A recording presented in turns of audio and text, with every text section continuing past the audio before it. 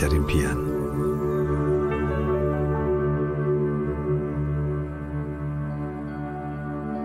Saya nak pergi sekolah. Sekolah seronok, boleh belajar, ada kawan. Tapi ayah tak mampu. Adik-beradik saya ramai. Nak beli baju sekolah lagi, seluar sekolah, kasut sekolah lagi.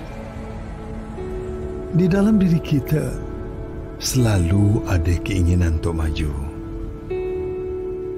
Untuk lebih dekat dengan impian. Untuk melihat hari yang baru. Untuk menjadikan hari ini hari yang lebih baik. Lakukan perkara yang hebat hari ini. Mereka semua mahu berubah. Mereka semua juga mahu maju. Saya gembira dapat peluang belajar. Saya bersyukur ada yang mahu hulurkan bantuan. Saya ada cita-cita nanti besar saya nak jadi guru. Apa yang kita ada hari ini, jadikan landasan bersama mereka untuk hari esok. Hadirkan harapan untuk setiap insan yang impikan kejayaan. Dulu tak tahu, sekarang dah tahu. Semua ini ilmu. Boleh guna nanti untuk masa depan. Boleh dapat kerja bagus, boleh bantu keluarga dan orang-orang lain yang susah macam saya. Barulah berguna untuk masyarakat dan negara.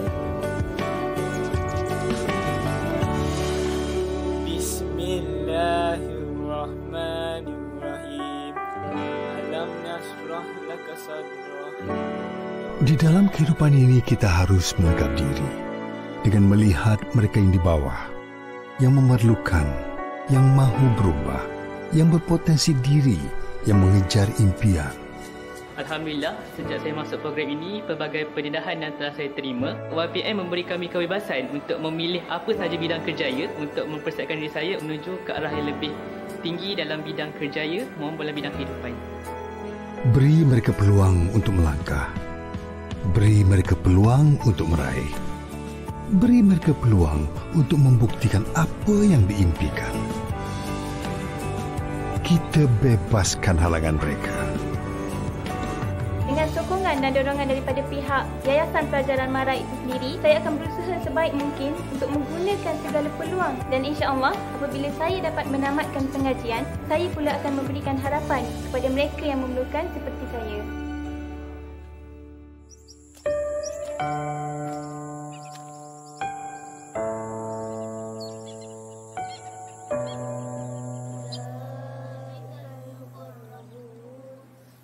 Sesungguhnya berkat yang besar itu pasti hadir walau dengan pemberian yang kecil. Bersama kita mendampingi mereka yang memerlukan. Bersama kita memberi harapan untuk mimpi besar mereka.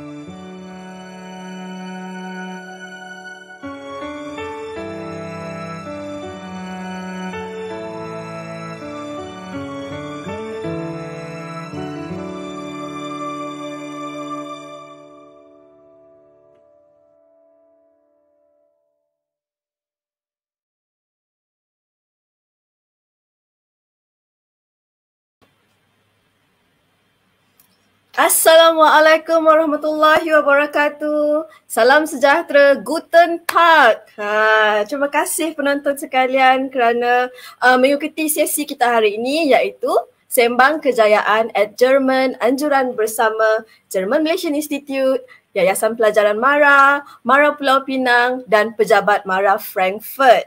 Okey, pertama sekali saya tengok dekat ruangan komen ni dah penuh tau, dah meriah dah. Ha, saya nampak ada yang datang dari Johor, ada yang datang dari Kelantan, Kedah.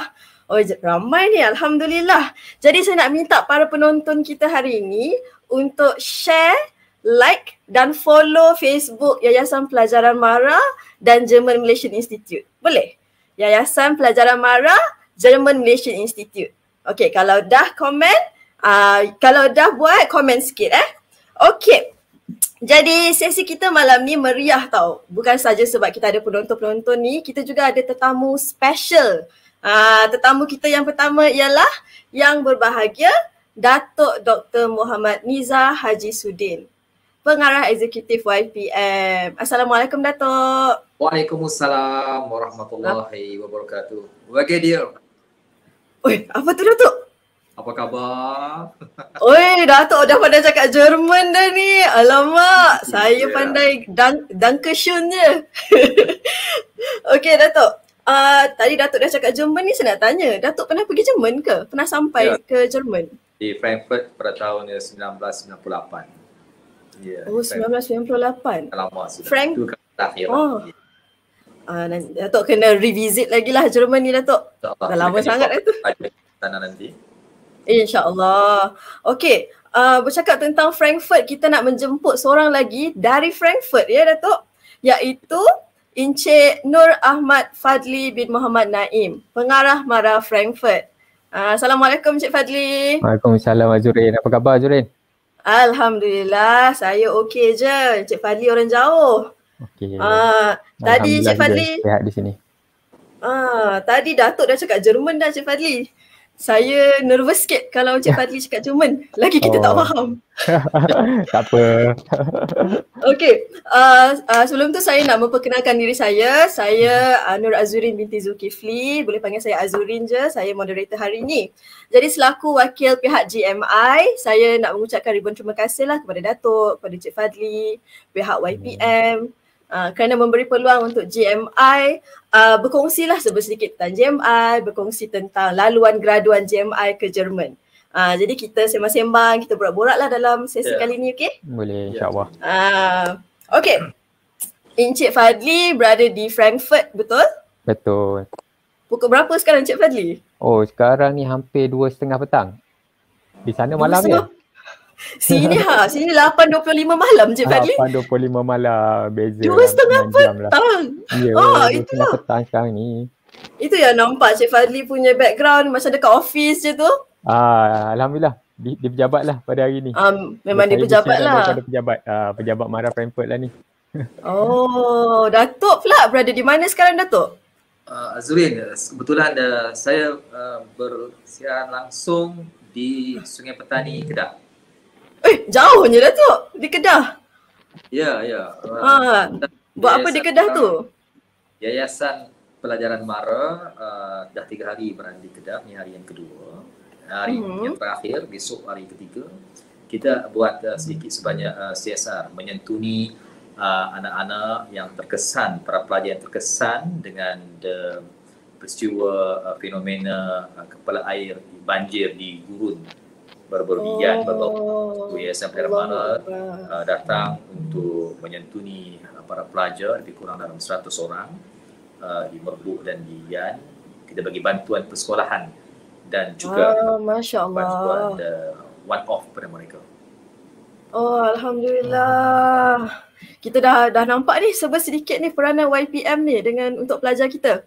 Jadi um, Datuk untuk membuka tirai hari ni boleh tak Datuk serba uh, ceritakan lagi lah tentang peranan YPM tu sendiri, uh, bagaimana YPM membantu para-para pelajar untuk mendapat pendidikan yang lebih baik. Boleh Datuk? Ya, terima kasih uh, Azwin. Saya pun nak ucapkan okay. terima kasih banyak kepada para penonton yang sedang mengikuti sembang kejayaan Ha. ya Meriah, meriah dekat komen ni Datuk. GMI. Kita tengok tengok komen banyak ni.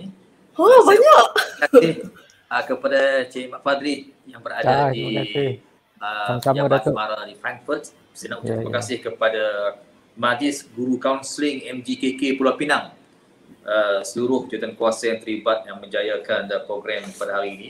Mara Negeri Pulau Pinang, uh, apa namanya kepada pengurusan Yayasan Pelajaran Mara uh, kerana dapat bersama-sama dengan uh, kita pada malam ini. Tak sampai dah pun hampir uh, lebih kurang seminggu lebih kita menyambut hari kemerdekaan Azurin ya.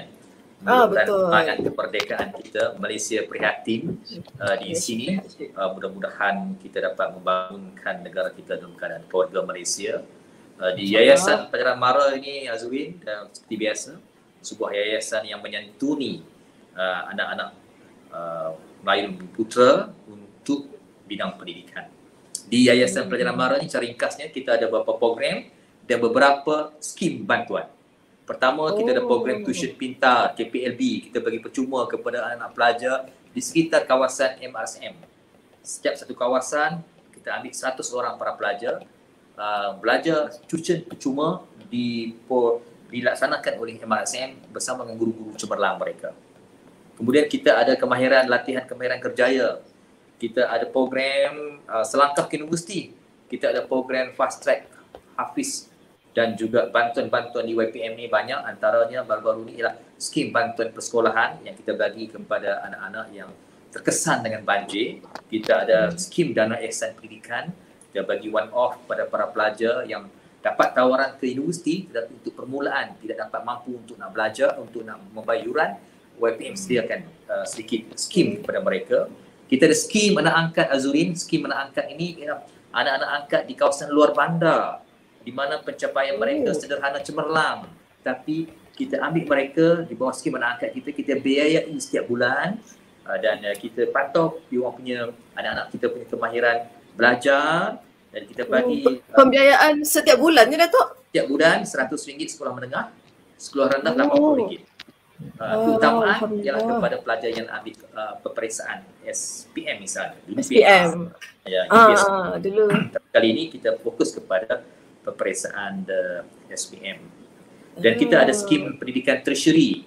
Uh, kita bagi kepada uh, skim pendidikan tertiary ini kita juga bagi pembiayaan uh, orang panggil uh, fees mereka dan juga bulanan kepada pelajar-pelajar yang terpilih di kalangan golongan asnaf. Justru itu Yayasan Pelajaran Mara ini kita juga ada program uh, Malaysian Jepun menghantar para pelajar ke Jepun. Jepun. Ini pada 14 bulan ini uh, Zurin adalah batch yang terakhir setelah 28 tahun para pelajar kita apa nama menyertai program ini uh, inilah hari 28 tahun Datuk? dah 28 tahun uh, program Eh, training lama. antara Malaysia dan juga kerajaan negeri Jepun. Uh, Wow. Yayasan Pelajaran Mara sebagai badan pelaksana untuk melaksanakan Ah, program. ah. Jadi inilah di antara program pendidikan di YPM, bantuan-bantuan de, di YPM secara ringkasnya Zurin untuk uh, pusingan pertama ni. Huh, saya dengar bantuan YPM macam-macam. Kan Cik Fadli? Ya betul. Tu. Ha, sampai Maknanya Tidak ada ada keciciran. InsyaAllah. Betul. Aha. Semua akan mendapat peluang pendidikan yang baik insya-Allah. Sama insyaAllah. InsyaAllah. Okey, terima kasih Datuk uh, tentang penerangan ringkas tadi. Okey, sekarang kita nak dengar dari Encik uh, Fadli pula, pengarah Mara Frankfurt. Uh, boleh Encik Fadli ceritakan tentang uh, peranan tanggungjawab pejabat Mara Frankfurt dalam membantu pelajar-pelajar tajaan Mara di Jerman. Uh, boleh Encik Fadli? Alhamdulillah. Boleh insyaAllah. Terima kasih banyak Azurin yang saya hormati yang bahagia Datuk Dr. Muhammad Nizar Haji Sudin, pengurusi eksekutif uh, YPM, uh, panelis kita dan juga para penonton ya. Semoga sihat-sihat lah Alhamdulillah ya. Musim pandemik ni insyaAllah. Betul lah. InsyaAllah. ya betul. Okey, uh, Alhamdulillah ya kita dapat bersiaran lah pada hari ini walaupun orang kata zaman pandemik ni agak sukar kita nak bersua muka ya tapi kita masih lagi berpeluang lah kita ber, bersantai, ber, berbicara, berkomunikasi di atas talian ni. Alhamdulillah masih ada ruang dan peluang. lah. Alhamdulillah. Uh, teknologi Cik Fadli. Ya betul untuk menghubungkan hubungan silaturahim. Ha, maksudnya kita tak terputus lah. Ha, Okey Alhamdulillah insyaAllah. Okey kalau sedikit perkongsian eh sebenarnya pejabat Mara Jerman ni dia beroperasi di Frankfurt lah eh di bawah Konsulat Jenderal Malaysia di Frankfurt uh, sejak sekitar tahun 2007. Lama tu lebih kurang 14 tahun lah hampir 14 tahun dah penubuhan pejabat Mara Frankfurt di di Germany ni. Jadi uh, dia bertanggungjawab di atas urusan pembangunan dan juga operasi pelajar tajak amara lah uh, di luar negara. Tetapi kalau kita nak fokuskan di Frankfurt dan Jerman ni maksudnya kita coverage kita ni luas. Uh, dia coverage kita di negara-negara Eropah lah. Uh, kalau kita tengok Piala Dunia ke, Euro ke, uh, negara Eropah. Maksudnya dia tidak terikat pada Jerman saja. Maksudnya coverage pejabat ni dia cover Negara juga lain semua lah. di negara Perancis, negara Sepanyol, Republik Czech, Poland, Netherlands, Denmark, Sweden yang currently kita ada pelajar kita lah, taburan pelajar kita di Eropah. Uh, dan bermula pada uh, pertengahan tahun lepas juga pejabat Mara Jerman ni dia coverage dia juga daripada benua Rusia lah maksudnya pelajar-pelajar tajaan Malaysia kita tajaan maaf tajaan Mara kita di uh, di Rusia terutama di Moskow tu uh, pun di bawah tanggungjawab uh, Tanggungjawab. pejabat Mara uh, Frankfurt di Jerman ni maksudnya skop dia begitu luas lah. Memang. Ah itulah. Macam luas je Cik Fadli. Kalau kena Itulah. cover Europe, uh, kena cover Betul, Russia betul, sekali. Ah Itulah. tapi agak agak-agak dalam berapa ramai pelajar yang Cik Fadli pejabat Mara Frankfurt uh, sekarang cover ni sekarang? kalau pelajar aktif sekarang ni lebih kurang 465 orang pelajar keseluruhan coverage negara Eropah kita lah. Tetapi di Frankfurt Hmm, sahaja kita ada ah, di Jerman kita ada 236 orang pelajar aktif kita lah Uh, Hmm. Jadi dia orang di sekitar lah di sini ada di State Bayern, uh, uh, North Rhine-Westphalen. Jadi macam-macam lah dekat sini taburan dia tu maksudnya still kita kena travel lah satu tempat tu tempat untuk melihat pelajar-pelajar kita ni insyaAllah. Walaupun dalam negara, yang sama dia tetap state dia jauh-jauh juga kan Cik Ya yeah, betul betul Ah. state dia. Kalau nak travel tu nak pergi Berlin tu almost 5 to 6 hour juga kalau drive tapi Aiyo. kita alhamdulillah lah ada kemudahan train dan sebagainya lah eh. Hmm, Okey Okey. jadi kalau kita kata tanggungjawab uh, pejabat Mara Jerman ni Mhm. uh, kita ni bertindak sebagai bridge juga sebenarnya jambatan penghubung di antara pelajar dengan pihak universiti, di antara MARA dengan pihak universiti sendiri untuk mencari peluang, meneroka peluang dan ruang kepada pelajar kita melanjutkan dan mengikuti pengajian lah uh, di, di negara-negara luar ni. Uh, jadi itu itu kalau kita tengok secara keseluruhan lah. Uh, secara directnya pula of course lah kita melihat kepada operasi dan juga kebajikan dari segi pengurusan kewangan pelajar tu sendirilah uh, di, di, di, di negara-negara Eropah ni. Jadi memanglah antara kalau kita tengoklah uh, salah satu yang kita berperanan pun baca sekarang ni musim pandemik eh musim pandemik ni kita tengok kita pun agak sukar untuk bersua muka untuk bertanya khabar tetapi ah, di sini kita boleh mainkan peranan kita lah. Maksudnya kita boleh masih lagi boleh berhubung dengan mereka secara atas talian. Okay? Jadi maksudnya uh, kita kena kena mainkanlah peranan tu. Betul. Ah, Kebajikan untuk- pelajar tu masih kebajikan jadi pelajar tu prioriti lah. Yalah, Ah. menjadi, menjadi prioriti kita lah. Ah, tapi Oh. tapi insyaAllah lah setakat ini memanglah pengurusan pandemik tu daripada awal tu memang kita rasa agak agak uh, merisaukan, Menca- membimbangkan ah. tapi itulah. Tapi insyaAllah pelajar-pelajar kita pun aktif untuk untuk orang kata keep in touch ni. jadi Ah, jadi mungkin uh, dia pun tak nak kesunyian di Jerman ke sana. Kadang-kadang dia orang ni bukan setakat aktif menanya allowance je Datuk Azurin ah, bila nak bayar allowance dan sebagainya ah, tapi khabar dia orang pun dia, dia kena dia, dia kena maklumkan jugalah kat kita kan. Ah, penonton penonton penonton dengar tu allowance. Ah, Ah, allowance allowance. ah, tapi bukan itu sajalah. Kita pun kadang keep in touch dari bagi luas lah maksudnya perkabaran mereka kan. Ah, insyaAllah lah. Hmm, ah, tak apa kalau ada apa-apa lagi kita boleh boleh sembang lagi tak ada masalah boleh bertanya dan sebagainya insyaAllah Okey, terima kasih Cik Fadli. sama Saya rasa Datuk kita pergi visit Cik Fadli lah dekat Frankfurt. Dah boleh boleh. Datuk pun last kali tahun 1998. Mungkin banyak Ah, perubahan. dah lama tu. Jom Datuk. kita pergi Frankfurt, kita pergi visit Cik Fadli kan. Ah, dekat Dia Pejabat Marah secara Frankfurt. fizikal pula Datuk. Ah, secara maya dah, kita sembang secara fizikal pula. Okey, terima kasih lagi sekali Cik Fadli ya. Ah, sama. Uh, jadi kita dah mendengar sedikit tentang peranan YPM, peran, uh, peranan Marah Frankfurt dari orang-orang penting kita ni. Kita dah tahu dah uh, sedikit lah, you know, uh, dah nampak sikit. Uh, okay, uh, lagi sekali adik-adik penonton-penonton semua dah like, dah share, dah follow belum?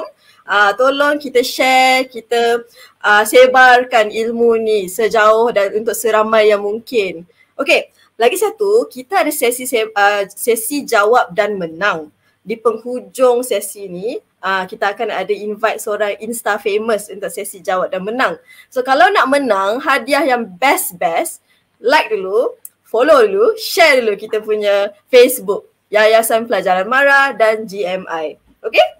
Alright. Um, sebelum kita meneruskan sesi hari ini, Datuk Cik Fadli, kita ada tayangan video dari pihak GMI tau.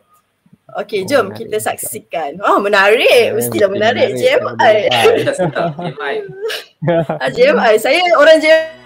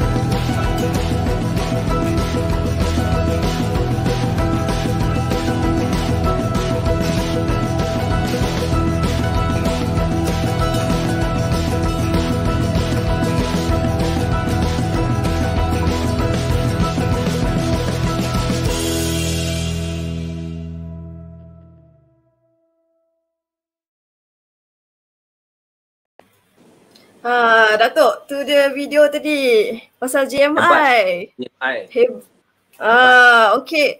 Um, tengok adik-adik penonton-penonton Datuk apa semua kan dalam video tadi ada sedikit tentang uh, JMI lah tentang kemudahan kita nampak kan ada pusat latihan yeah. ada mesin ada robot kukau yang oren tadi tu kan Datuk uh, yeah. lepas tu pelajar pelajar Korea pun ada uh, bukannya uh, pelajar Korea ni saya nak cerita sikit uh, mereka ada melakukan short course uh, di JMI saya pernah lah ajar dia orang sempatlah merasa ajar pelajar Korea tu Ha.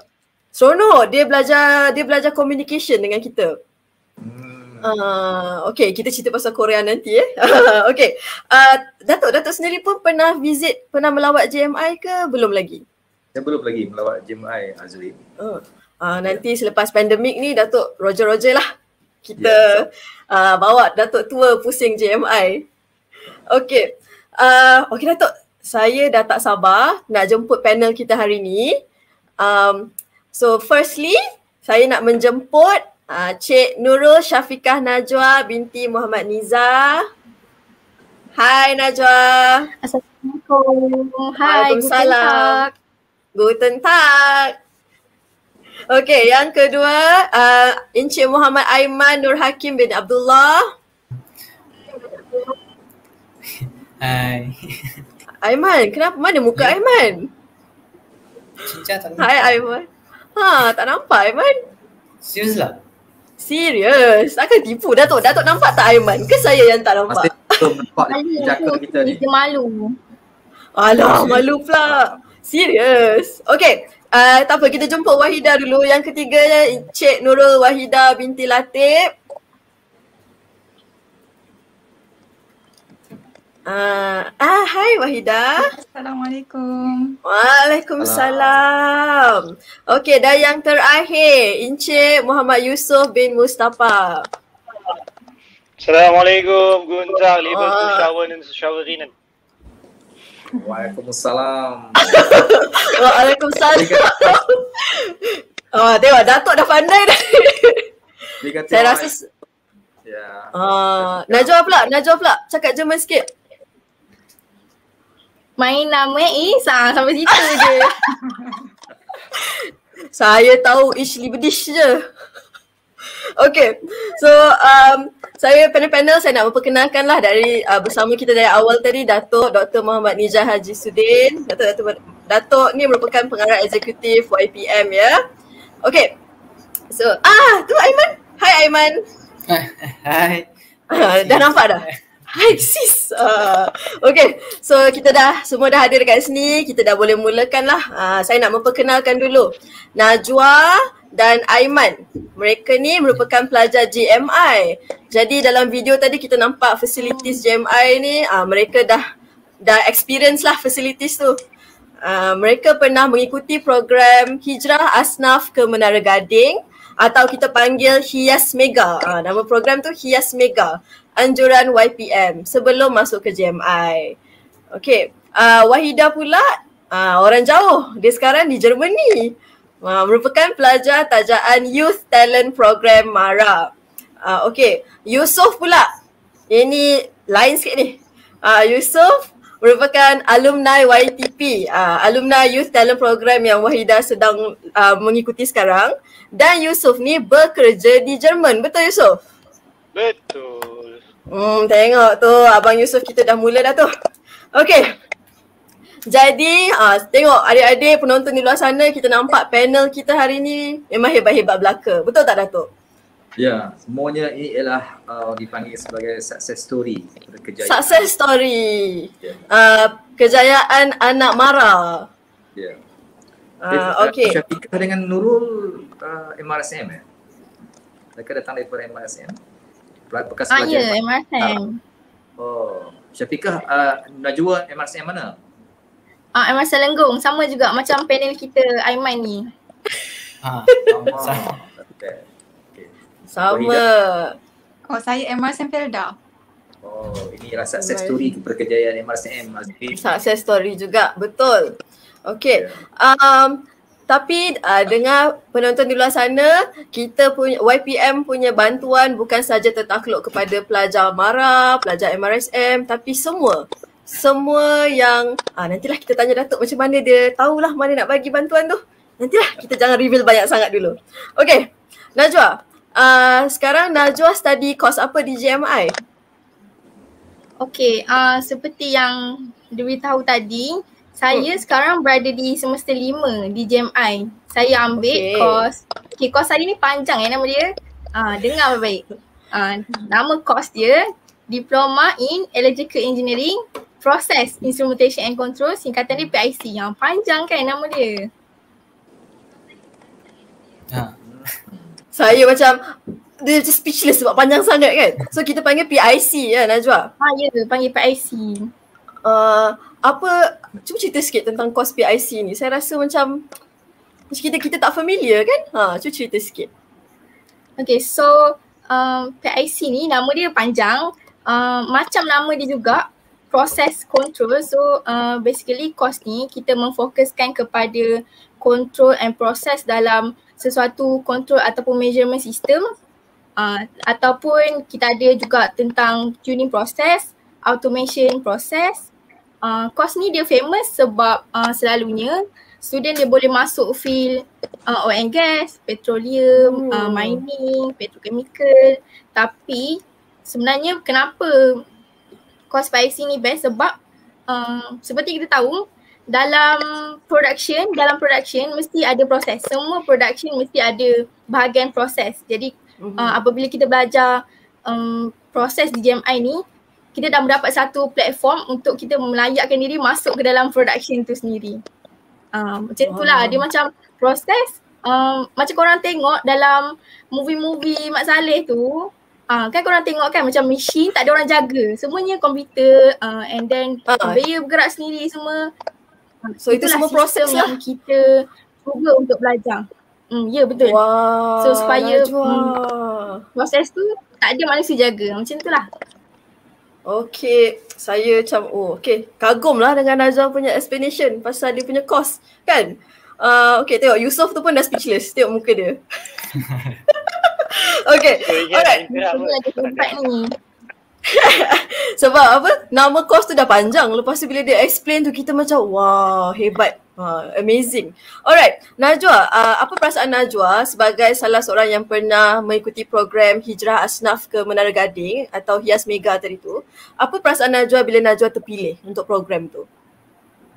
Okay, so um, perasaan saya um, waktu tu macam bercampur bercampur aduk lah sebab first saya rasa uh, bersyukur sebab melalui program tu saya diberikan satu peluang untuk pada ketika itu kan kita tak tahu lagi boleh sama belajar ke tak boleh sama belajar ke jadi bila kita hmm. mendapat peluang untuk minta itu kita ada rasa macam oh satu jalan tu buka uh, macam tu yang kedua uh. saya rasa uh, excited uh, of course lah nak join program jumpa orang baru jumpa new circle kita akan dapat pengalaman and knowledge yang baru uh, excited lah sebab tu dan yang ketiga um, saya rasa uh, nervous. Ah, saya rasa nervous. Kenapa saya nervous? Sebab huh. saya takut. Ah, kenapa saya nervous? Saya takut sebab kalau saya tak dapat manfaatkan apa yang saya dapat pada program tu pada waktu tu. Jadi, jadi macam pressure saya, pressure. Ah, dia macam pressure kat situ.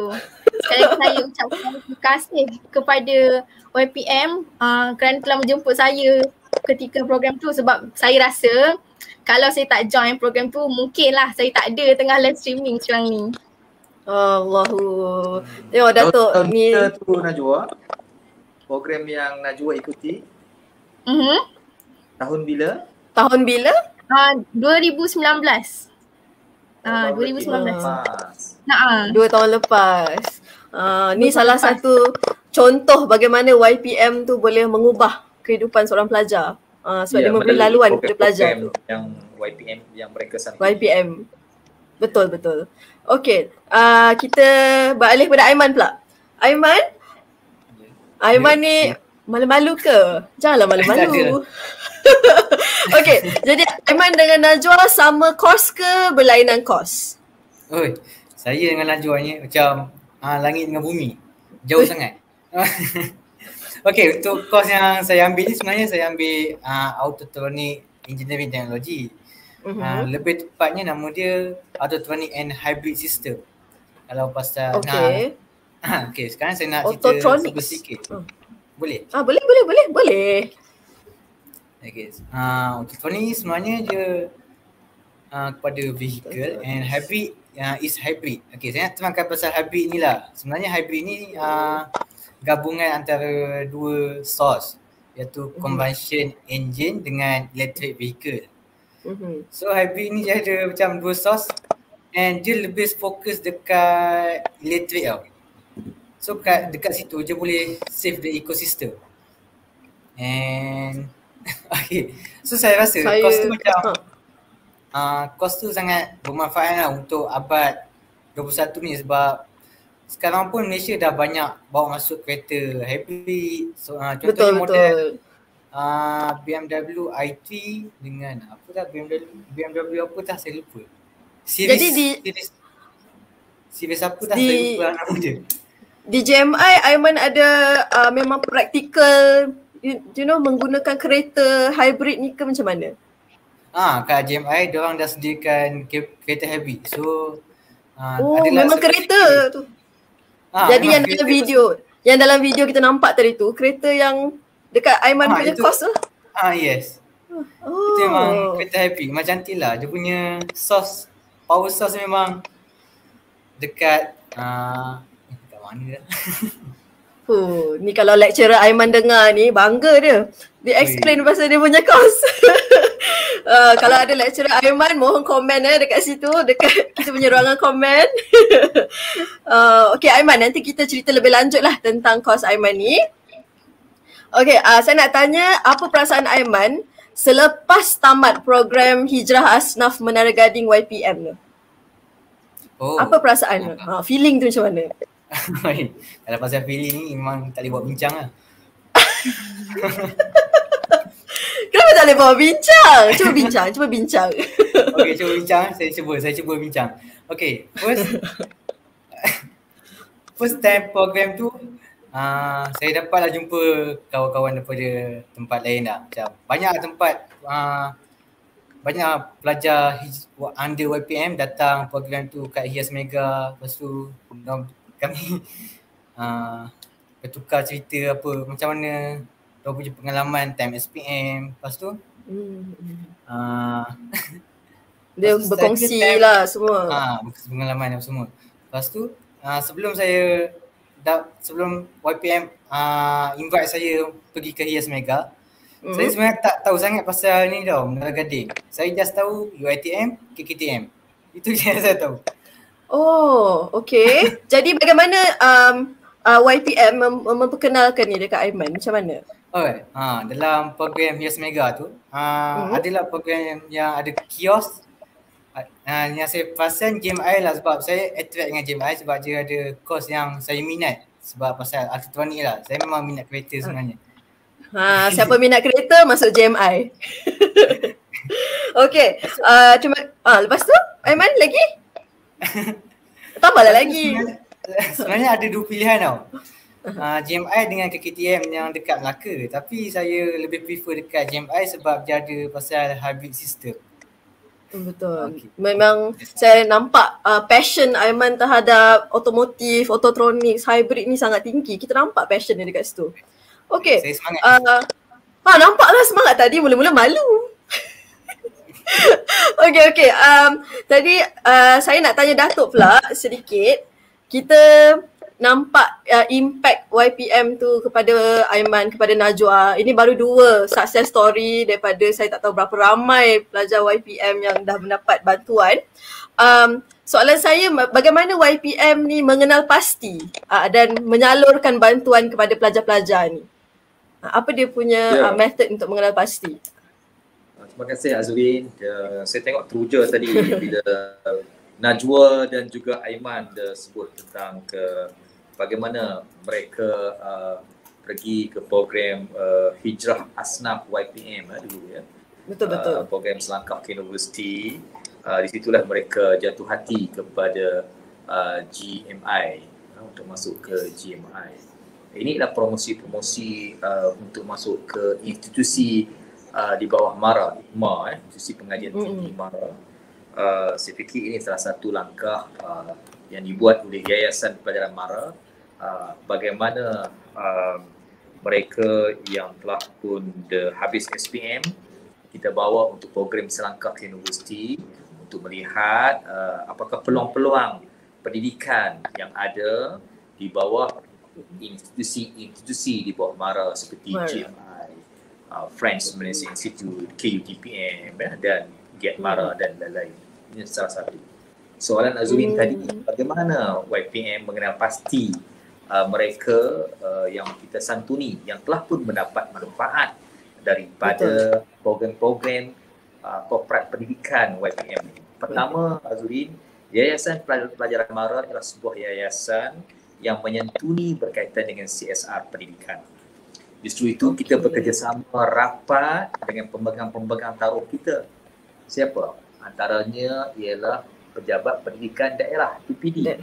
PPD. Jabatan Okey. Pendidikan Negeri seluruh Malaysia termasuk Malaysia. Sabah dan Sarawak. Sekolah-sekolah Hmm. yang terpilih dan the MRSM.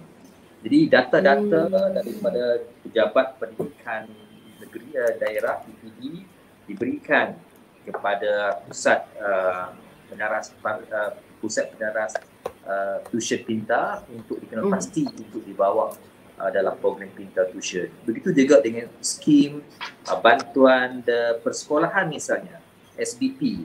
Uh, kita menyantuni setiap tahun ya. Uh, Setiap tahun kita menyantuni uh, anak-anak di seluruh kawasan parlimen.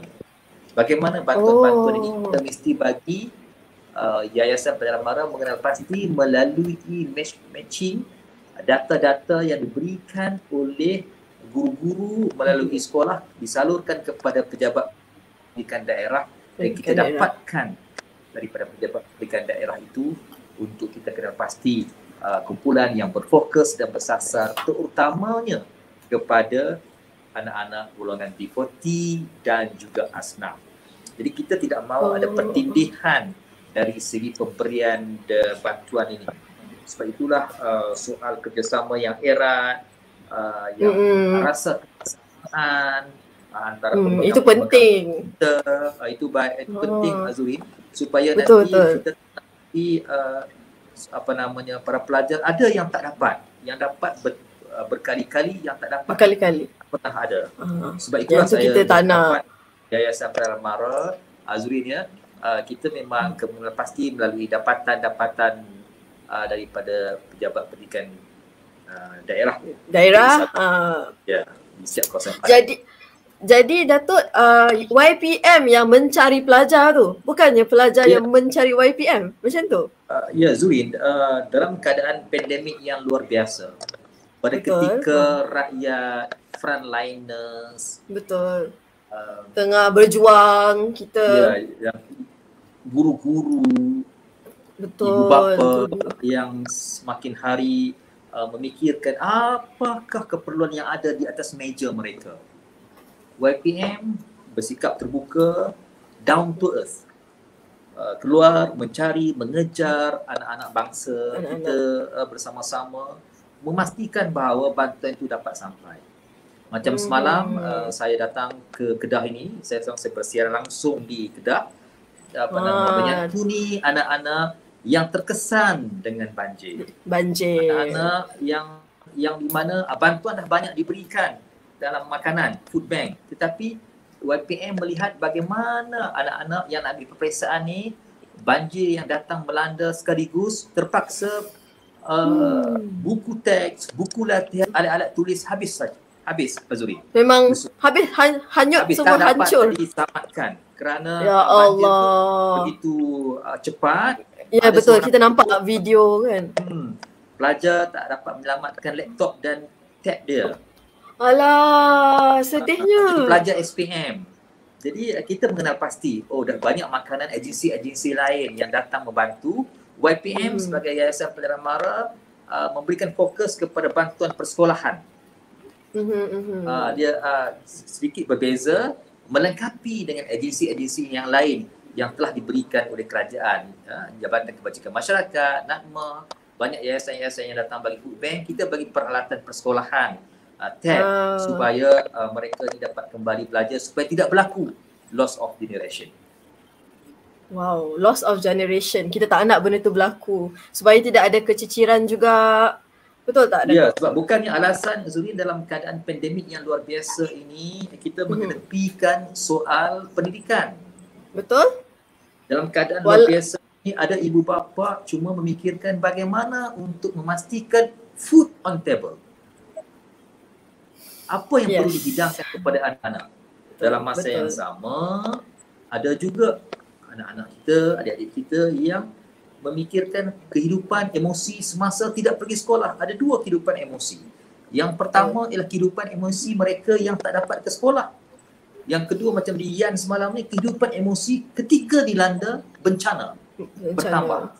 Sebab itulah uh, Yayasan Pelayaran Mara sebuah yayasan yang cakna prihatin kepada apa yang berlaku datang menyantuni dan menjadi pelengkap kepada bantuan-bantuan yang Betul. telah diberikan oleh pihak-pihak lain dalam konteks pendidikan.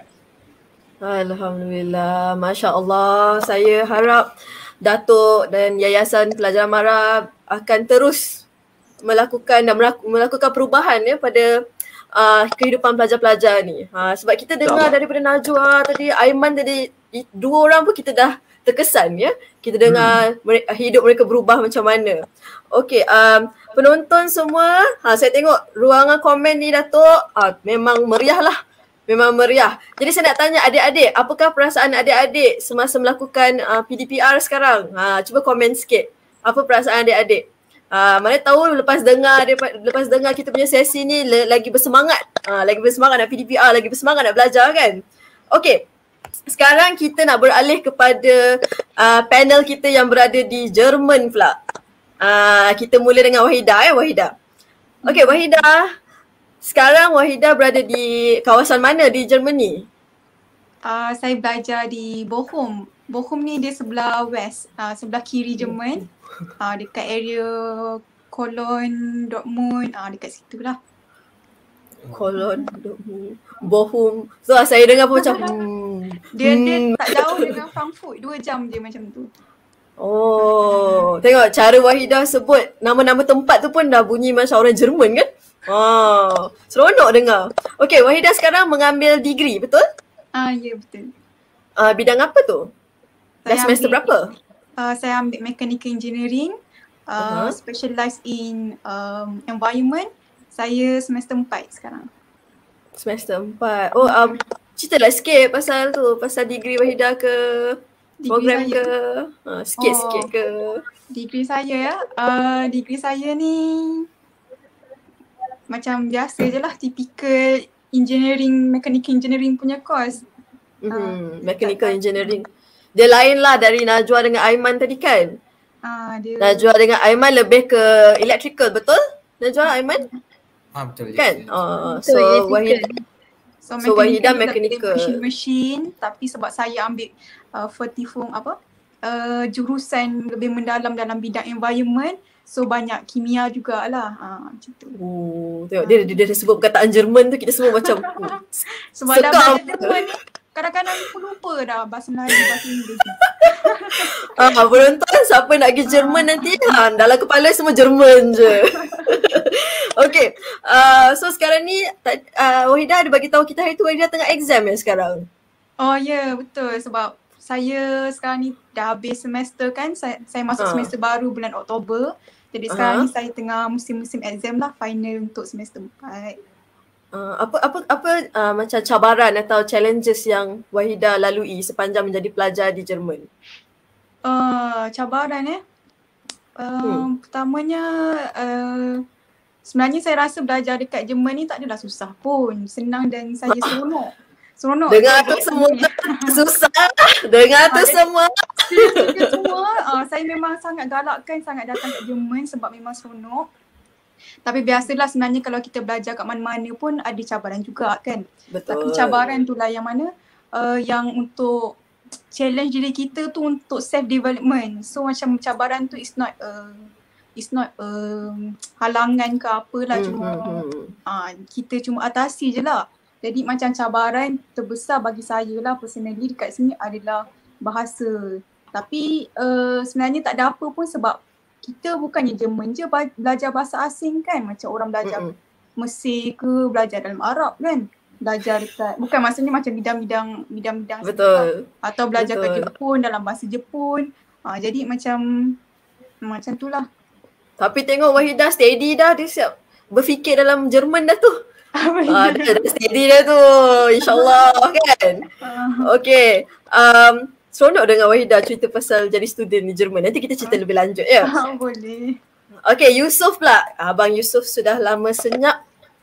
Jadi uh, Yusof yang berada di Jerman tu uh, sama kawasan ke dengan Wahidah? Wahidah di Bochum tadi kan? Uh, Wahida, kalau Wahida tadi duduk Bochum. Bochum ni dia Island Fast sebelah kiri kan kalau dalam peta.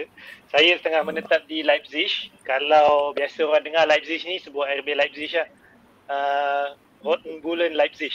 Red Bull. RB Leipzig lah. Itulah yang paling terkenal kan. Oh. Dekat je sebenarnya stadium tu. Selalu kalau saya nak pergi rumah kawan saya, lalulah stadium tu. Dan katanya kelas ni lawan PSG kan. Kalau tak silap lah. Kalau tak silap lah. Uh, Okay, siapa yang tengok bola boleh mula masuk sekarang. Uh, tapi kira jauh lah kalau compare dengan Wahida tu memang uh, hujung From one end dengan uh, hujung kanan. hujung belah Uh, exactly. Oh, dah berapa lama ni di Germany? Uh, bulan 3 tahun ni uh, genap 10 tahun. So campur sekarang dah jadi 10 tahun 6 bulan lah di sini.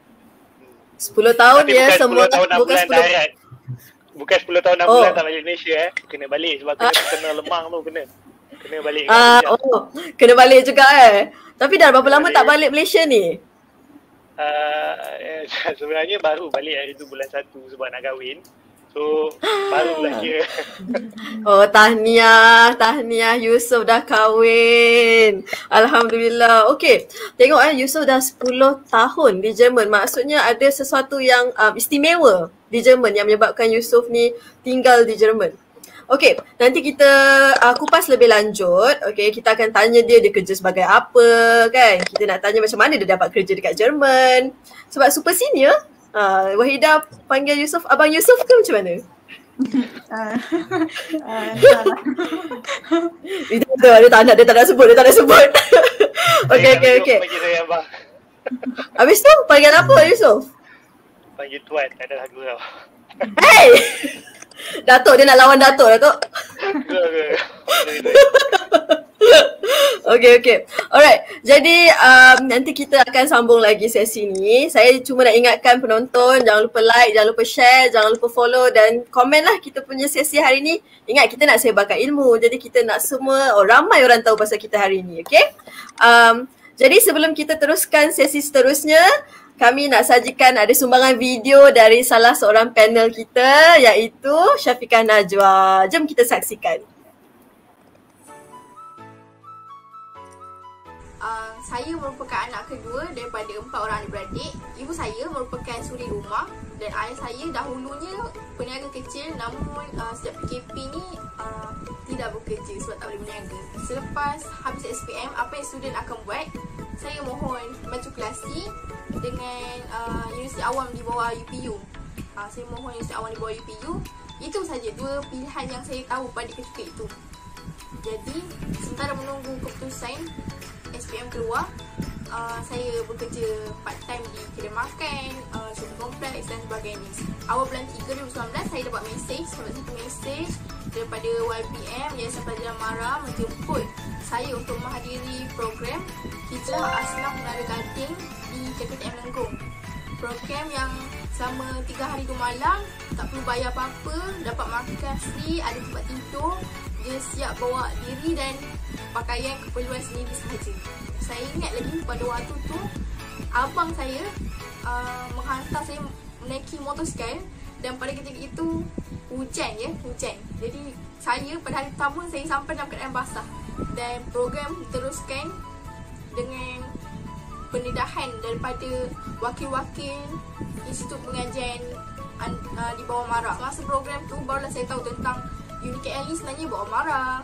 GMI ni sebenarnya bukannya swasta yang mahal-mahal sangat macam tu kan. Walaupun keputusan kita tak berapa nak merangsangkan tak bermaksud tak boleh sambung belajar ya semua.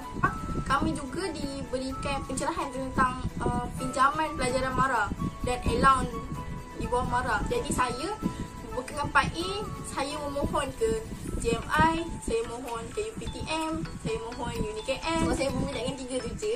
Yang lain saya tak mohon. Walaupun sebenarnya boleh mohon. Benefit yang kami dapat daripada menyertai program Hijrah Aslah Menara Gading pada ketika itu, saya telah mendapat 1,500 daripada YPM sebagai bantuan awal uh, melanjutkan pelajaran. Uh, dan selain itu, uh, kami juga berikan lagi 500 selepas kami masuk ke institut pengajian bawah marah tu. Kami juga diberikan peluang untuk bertanya dengan visi-visi yang menjaga kami bagi itu tentang pengalaman mereka melanjutkan pelajaran macam mana mereka apa yang mereka lakukan tentang kewangan, tentang pelajaran uh, susah ke tak nak sambung belajar? Ada juga visi kat situ yang sedang degree, sedang diploma. Awal bulan 4 ataupun sebelum bulan 4 macam tu saya dah dapat panggilan tawaran daripada uh, JMI untuk panggilan uh, intake April selepas banyak pertimbangan, perbincangan dengan family.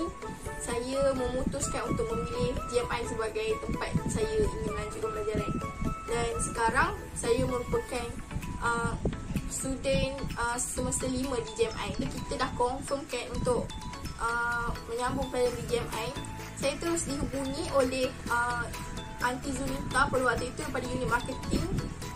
Uh, kerana dia merupakan uh, wakil JMI unit marketing yang berada di program pada ketika itu. Dia, dia menghubungi saya bagi memastikan uh, segala perjalanan pendaftaran saya berjalan lancar dan uh, selepas masuk dia masih menghubungi saya lagi untuk tanya tentang bantuan dapat ke tak ada duit makan ke tak, selesa ke tak, okey ke belajar dan sebagainya sampai saya semester lima. Akhir kata saya harap uh, adik-adik menyertai program ni akan dapat manfaatkan sepenuhnya dan menempuh perjalanan melanjutkan pelajaran yang mungkin lagi menarik daripada pengalaman saya. Uh, itu saja. Itu dia video Najwa tadi. Uh, saya rasa dia menusuk hati. Kan? Dia rasa Nostalgic, rasa macam nostalgic. nostalgic. Saya rasa macam sebab because yalah kita dengar perjalanan Najwa nak sambung belajar tu ber, berliku orang cakap kan dengan uh, kena hujan lah dramatik betul Najwa kan. okay. Macam uh, konten kita dramatik tu tapi nak macam mana ada cuaca macam tu waktu tu. Betul. Tapi memang uh, kita nampak lah bagaimana YPM tu memberi impact kepada hidup uh, pelajar kita. Okay, uh, Datuk sebelum kita teruskan lagi saya nak tanya Datuk. Tadi Datuk dah terangkan bagaimana YPM mengenal pasti pelajar untuk program YPM kan. Tadi kita melalui uh, PPD, melalui kaunselor sekolah apa semua. Jadi kita dengar tadi Najwa mendapat bantuan uh, total dalam RM2,000. Betul Najwa? Dalam video tadi kan? Betul. Sam- sampai sampai ada penonton kita komen tau. Wow, bestnya dapat allowance. Ha. Jadi uh, boleh tak Datuk terangkan uh, bagaimana tawaran-tawaran ni boleh memberi faedah kepada para pelajar kita dari segi holistik, ya, dari segi menyeluruh. Boleh Datuk silakan. Ya, uh, ya, boleh dengar eh. Boleh boleh boleh Datuk. Uh, yang pertama um, skim-skim di bawah Yayasan Pelajaran Mara ini uh, dia bermula daripada peringkat rendah hinggalah peringkat tertiary. Sebagai contoh, skim bantuan persekolahan ST. Uh, pada tahun lepas uh, kita uh, bagi kepada golongan B40 sebanyak RM70 untuk sekolah ya yang dikenal pasti oleh pihak sekolah. Kemudian uh, ada skim tuition yang telah disebutkan tadi.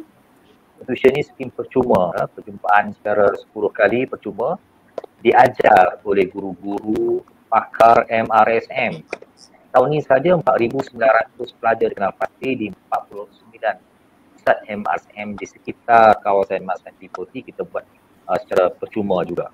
Kemudian kita Ramai ada betul. yang saya ya 49 uh, 4,900 dan selama lan- tahun dah dilaksanakan the Azurin juga Hmm. uh, hampir 84,400 uh, penerima manfaat yang telah pun mendapat pada skim tuition percuma Yayasan Pelajaran Mara ini. Uh, dari Oh. segi sumbangan-sumbangan ini inilah yang memberikan uh, sedikit sebanyak uh, bantuan ini.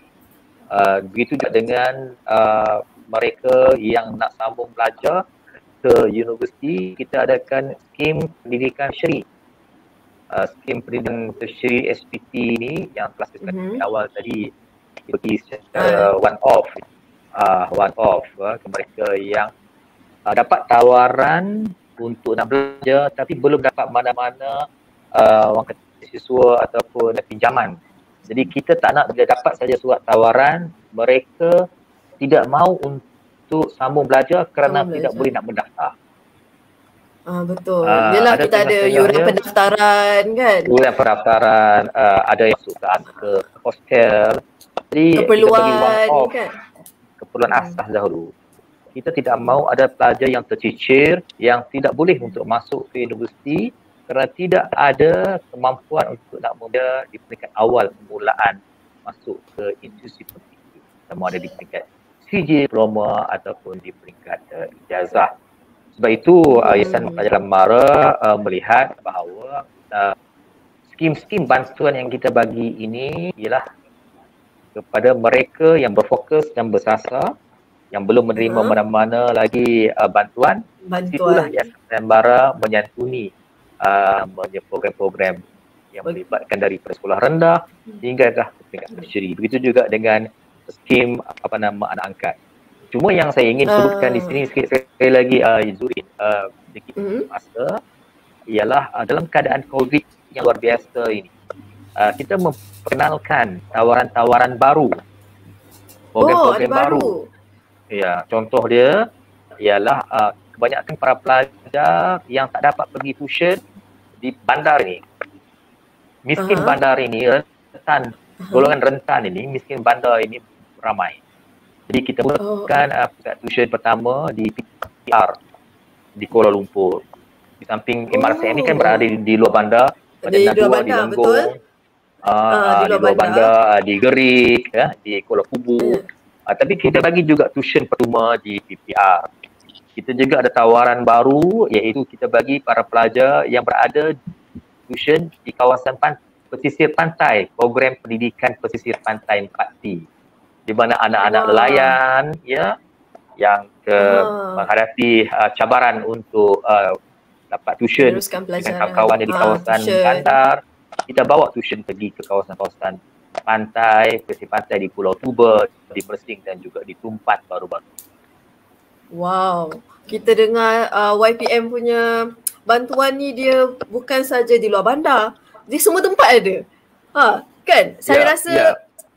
memang sekarang ni uh, alhamdulillah dengan adanya YPM saya harap tidak akan ada pelajar punya isu tak boleh sambung belajar, tak mampu nak sambung belajar. InsyaAllah benda isu tu boleh diselesaikan dengan mengikuti program YPM.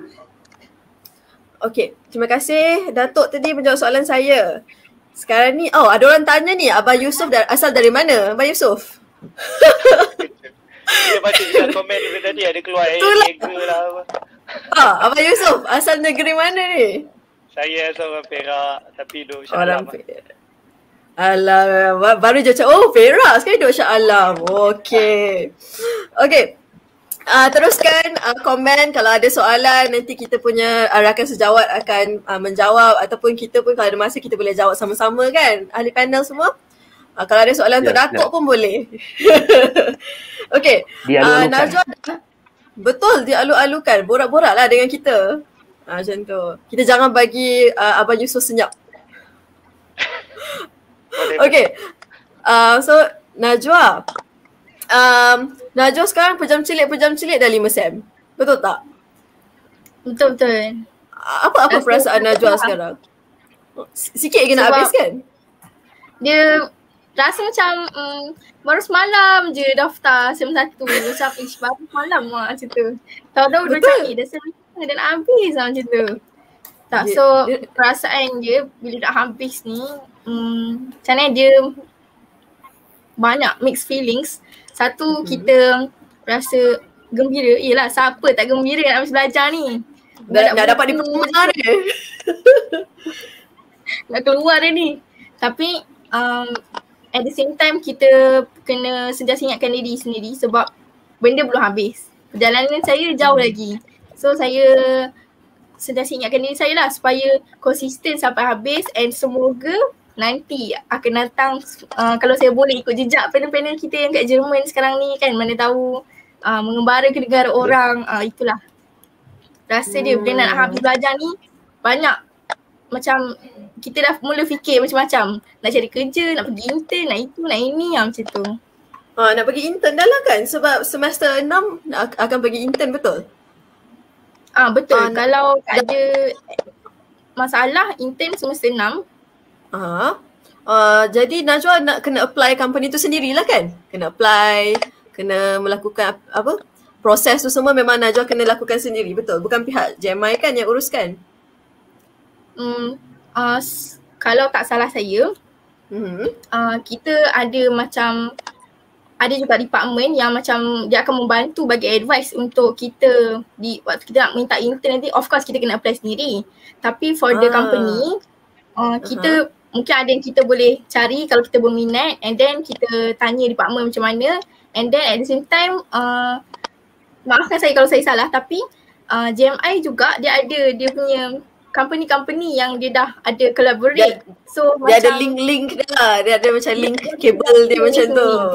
Ya betul. Ah. And macam tak silap saya lah, um, macam tahun-tahun lepas uh, Mhm. ada juga company yang dia walk in, dia walk in JMI sebab dia nak ambil student JMI tu intern. Ah, macam hot item lah student JMI ni Ah, untuk intern. Itulah.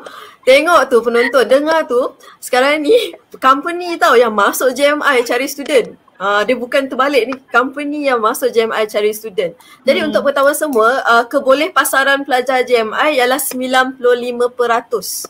Maksudnya selepas habis JMI, uh, possibility untuk dapat kerja tu sangat tinggi insyaAllah. Okay, uh, dan Amin. saya nak ulas, amin kan. Ha, saya nak ulas sedikit lah pasal uh, internship tadi. Kita kita panggil latihan industri. Uh, pelajar JMI akan melakukan latihan industri ni semasa semester 6 uh, sebab dia wajib untuk completekan diploma dan masa ni lah dia akan tunjuk skills dia, dia akan tunjuk pengetahuan, kemahiran di industri. Jadi kalau semua okey, skills okey, disiplin semua okey, insyaAllah majikan akan uh, serap uh, jadi pekerja tetap di situ. Okey, Aiman pula. Uh, Aiman, tadi Aiman dah cerita panjang pasal hybrid kan. Kita semua macam dah wow dengan pasal hybrid kan. Uh, jadi kenapa Aiman um, khususnya memilih GMI, memang GMI tu? Kenapa GMI? Oh, kenapa JMI? Ah, Ah, kenapa? First of all, sebab JMI ni jadi macam Jerman punya teknologi Mhm. and Jerman punya teknologi. Faham? Jerman ni antara yang negara yang paling maju dalam dunia ni. Antara negara Ah, yang paling maju lah. So, so ada collaboration dengan JMI.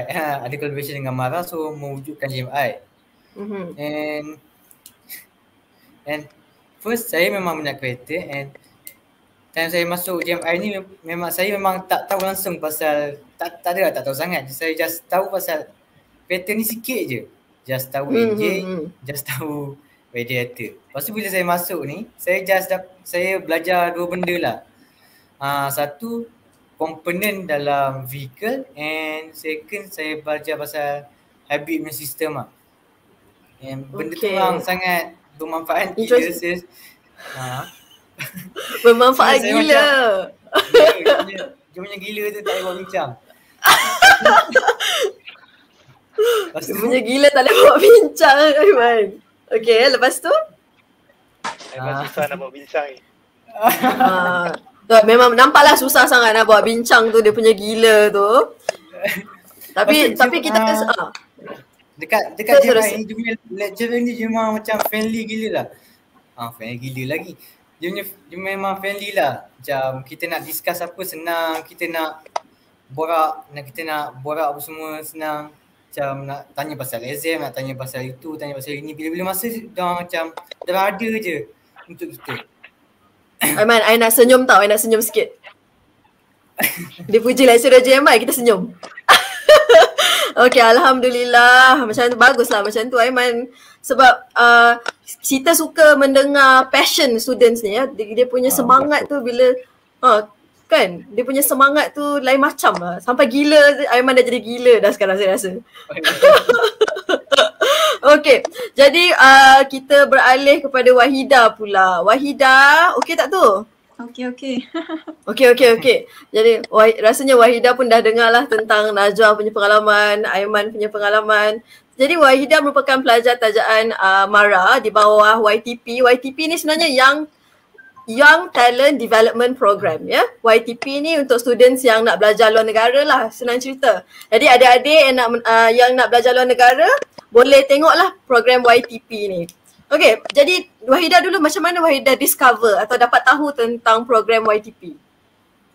Oh, okay. Kalau saya personally, sebab Mara dengan keluarga saya ni sangat dekat ya.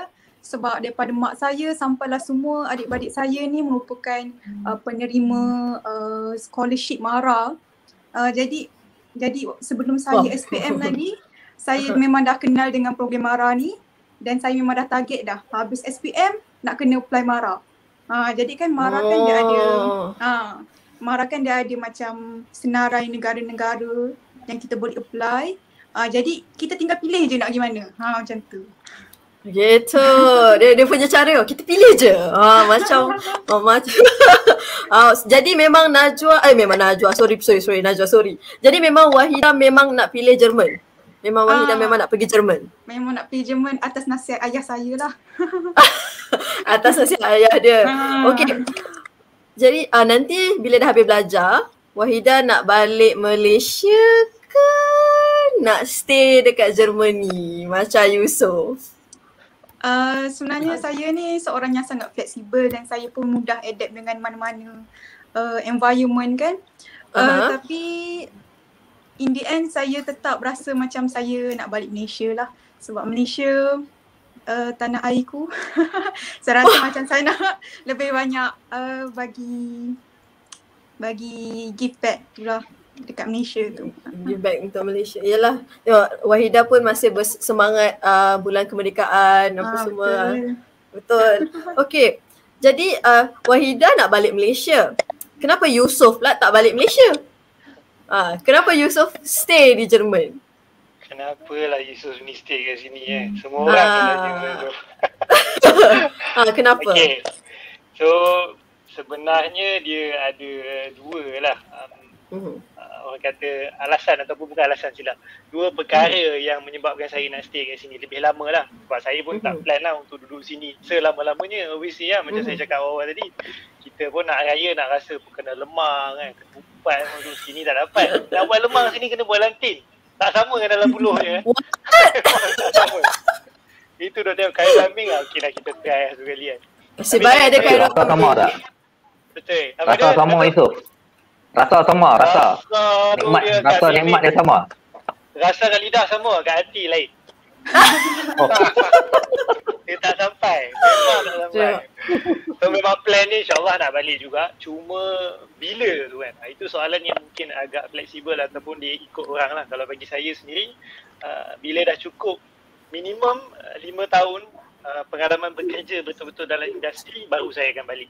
Sebabnya kenapa Mhm. ada dua reason yang utama. Satunya um, bagi saya sendiri untuk satu pengalaman tu betul-betul matang untuk dia jadi ranum kan. Kalau buah tu takkan kita nak petik masa dia ada warna. Kalau mangga takkan warna hijau kita nak petik kan. Melainkan kalau kita nak buat jeruk mangga lah.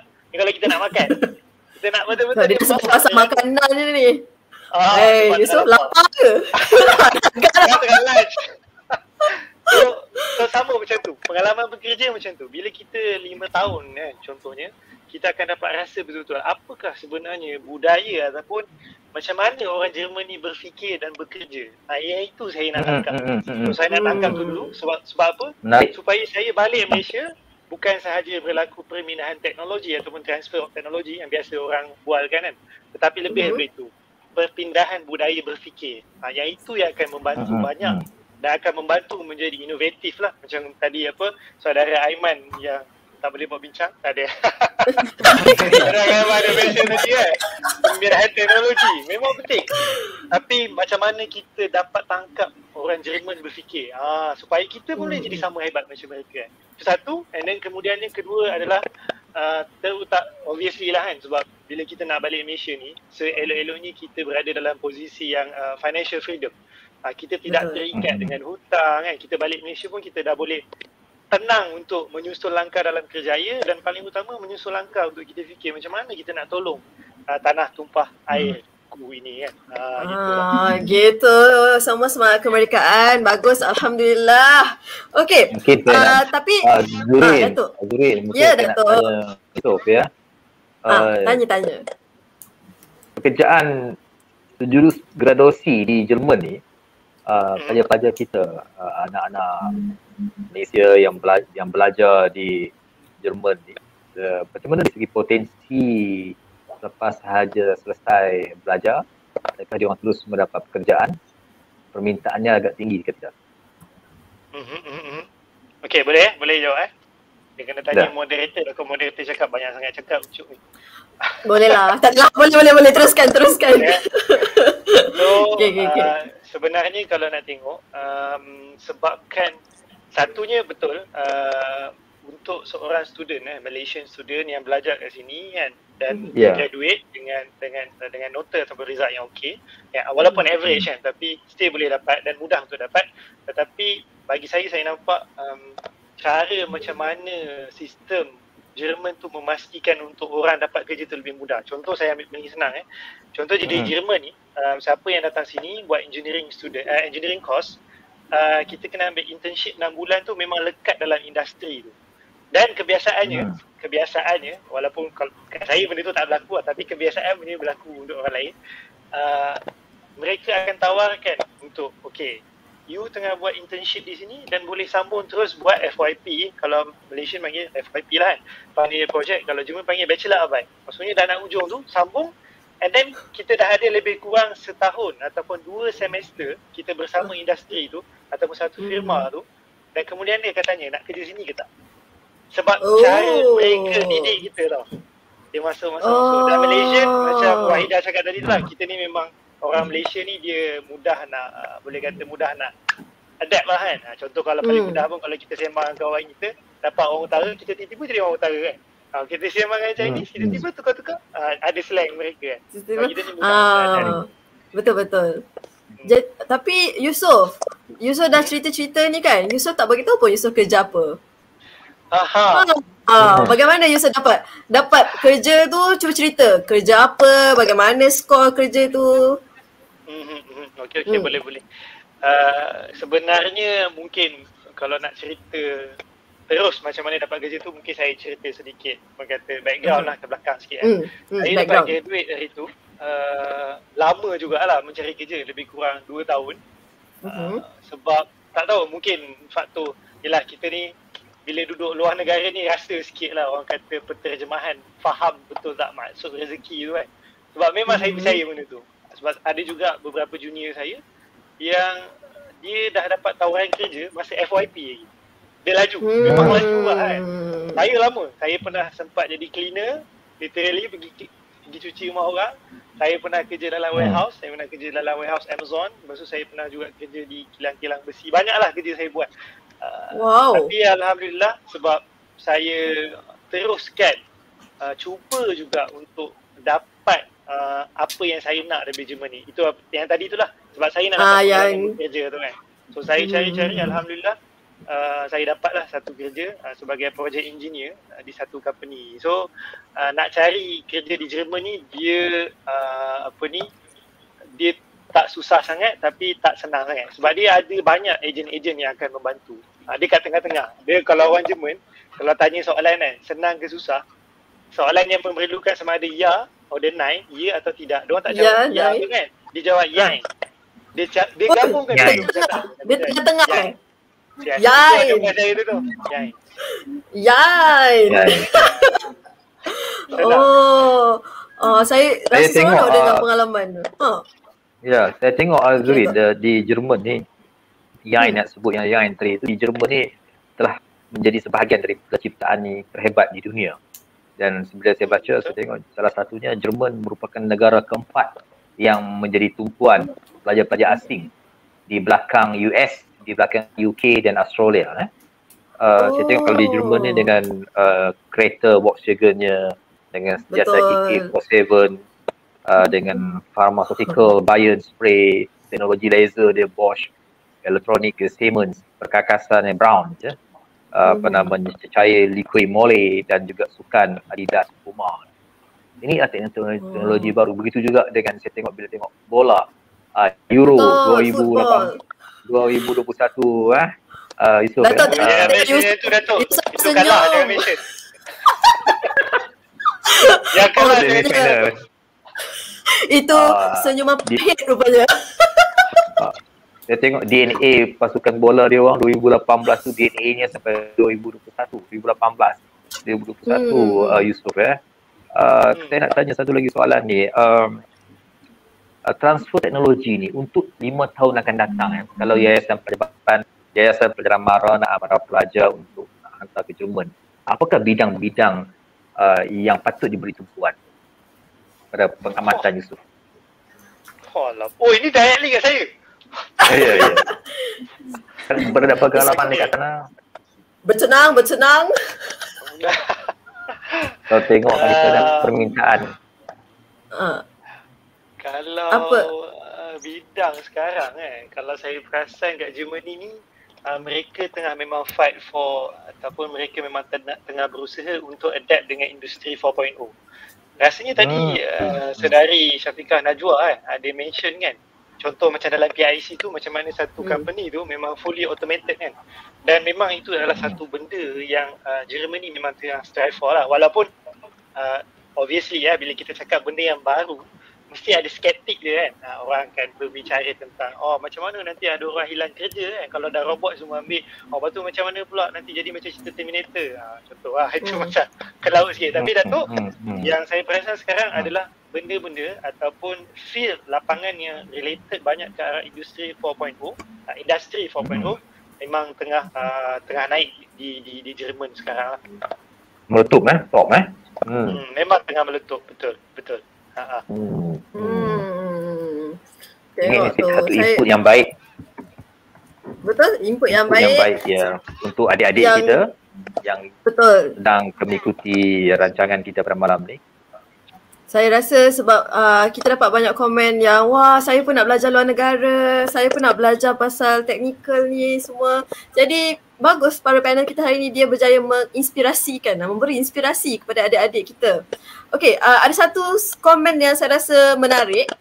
Um, kat sini dia tulis, Kakak Azurin, boleh tak tolong tanya kepada panelis kata-kata semangat yang masih dipegang ha, yang menyebabkan uh, mereka sampai pada tahap sekarang ni. Ah, kata-kata semangat. Ah, Yusof dah senyum, Yusof dulu. Okey ya. Uh, ini kira macam dah last eh. Sebab kalau boleh Kira- saya macam nak share satu budaya je. Ah, boleh. Kalau kalau sempat. Boleh, boleh, boleh. Boleh. Boleh saja. um, saya yang saya perasan uh, apa ni uh, di Jerman ni eh, masa saya baru sampai saya ingat lagi orang suruh kata Jerman ni they have no sense of humour. Diorang ni tak erti melawak, diorang ni tak berseni.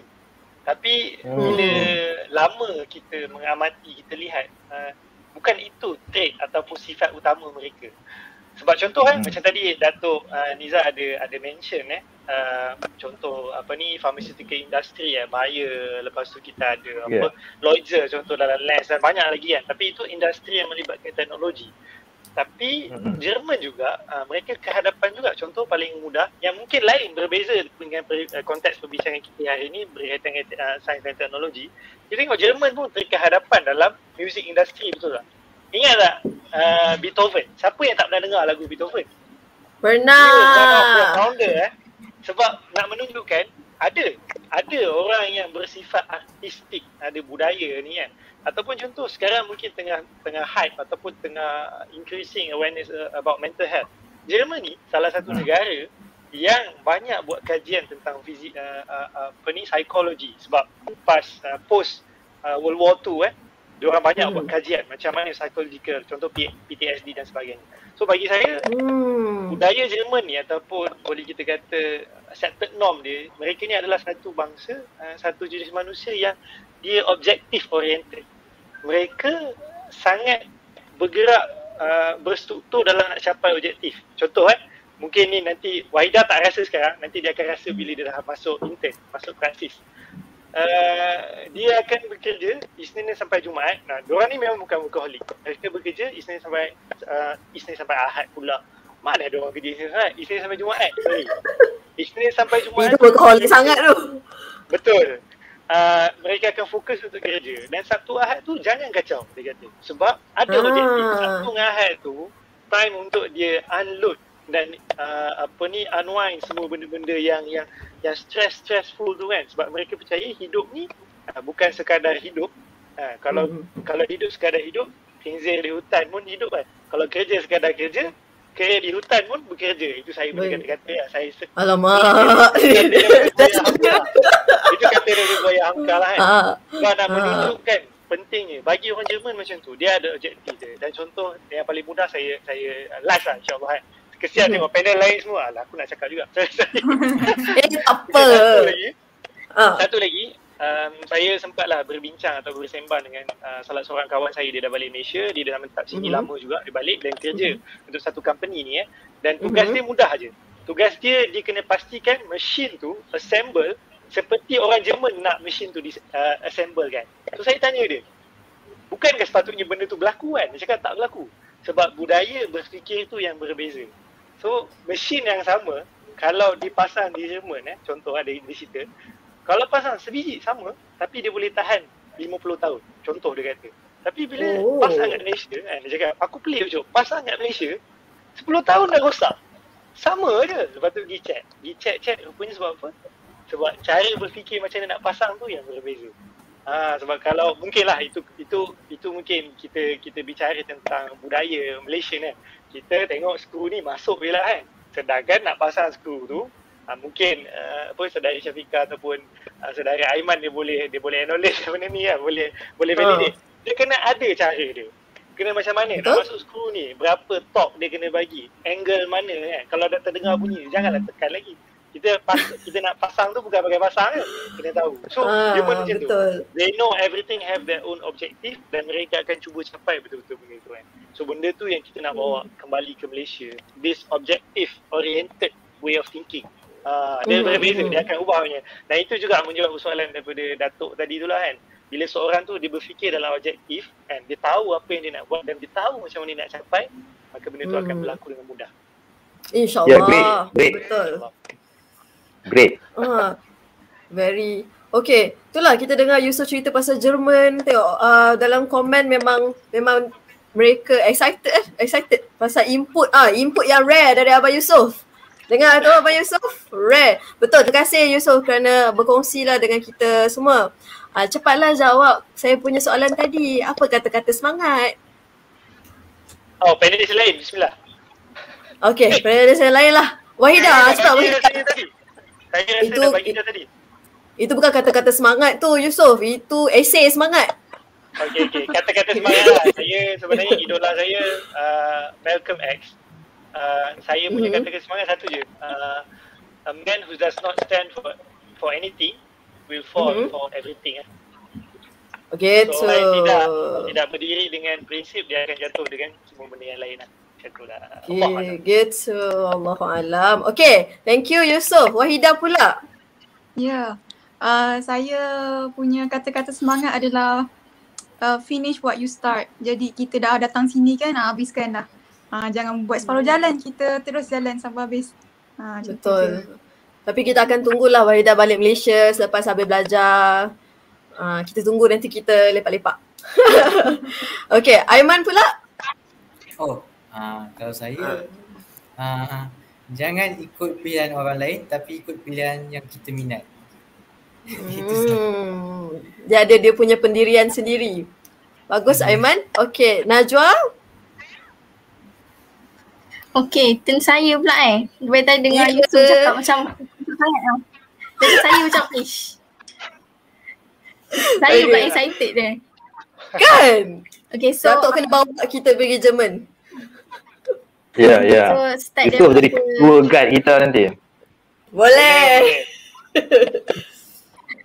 Okey Najwa. Start daripada um, hari yang saya masuk program tu, ah ini jadi apa yang saya selalu ingat lah.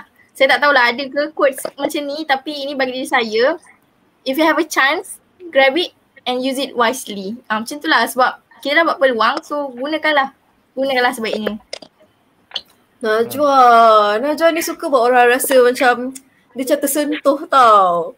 Uh, okay. Uh, terima kasih kepada para panel kita malam ni kan. Uh, berkongsi sedikit input. Itu pun tak puas lagi nak bercerita. Sebenarnya kita ada banyak lagi sebenarnya soalan tapi tak apa. Uh, nanti kita PM tepi uh, gitu. Okay. Uh, tapi belum habis lagi. Lepas ni, sesi lepas ni sesi yang um, best sebab ada Insta Famous dan Insta Famous ni nak bagi hadiah kepada siapa yang dapat jawab soalan dengan pantas. Ha, jawab dan menang lah. Tapi siapa yang nak dapat hadiah tu kena kena buat apa? Kena like, kena share, kena follow dulu kita punya Facebook, uh, follow dulu kita punya social media. Okay? Dah buat dah? Uh, kalau dah buat, komen kat situ dah buat. Alright. Jadi sebelum kita teruskan sesi dengan Insta Famous kita, kita nak saksikan video tentang pengalaman Wahida di bumi Jerman. Jom kita saksikan. Uh, lepas dah habis 22 bul 22 bulan buat A level tu uh, mestilah rasa macam sangat lega. Uh, macam oh akhirnya habis juga sebab 22 bulan tu penuh dengan struggle dengan hard work. Memang sangat saya saya pun memang belajar sangat sungguh-sungguh lah waktu 22 bulan tu. Betul nak kejar kan? Sebab it was my dream to go to Europe and study there from since I was in form 5 macam setiap hari I prayed nak, nak, nak study overseas, nak study overseas and then I got it. So kira cantik lah bagi orang yang macam saya ni sebab saya ni macam tak adalah kategori macam genius ke apa macam saya ni biasa-biasa je.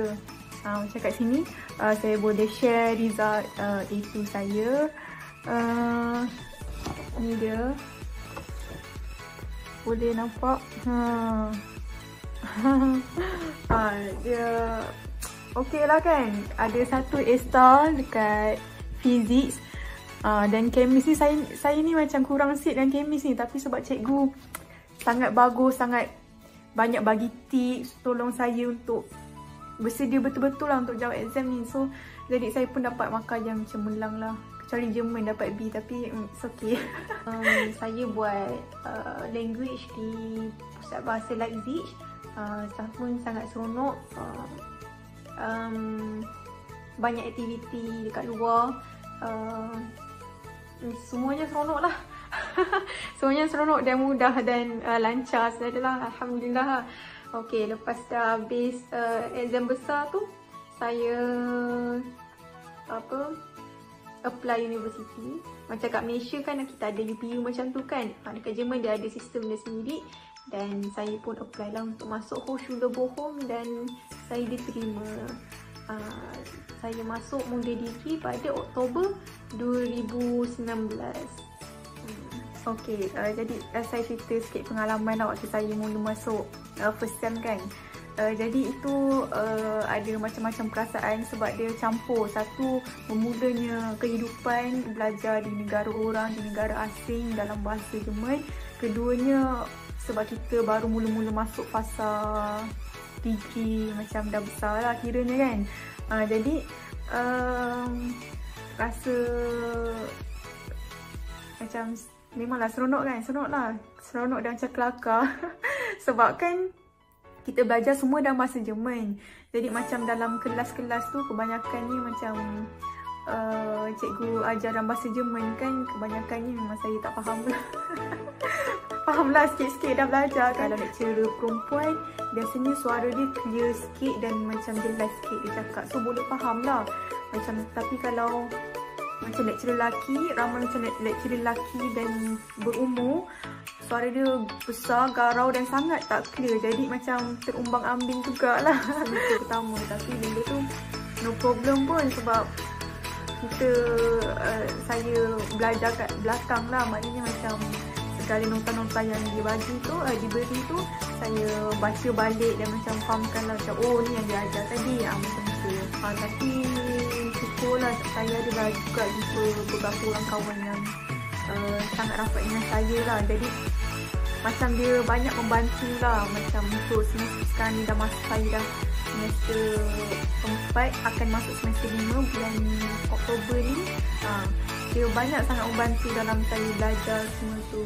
Tapi harapnya uh, yang akan datang ni dapatlah masuk semula ke Hoshuda dan belajar macam biasa. Sebab seronok lah kita kejar-kejar nak solat kita um, lepak-lepak kat Mensa, Mensa tu kantin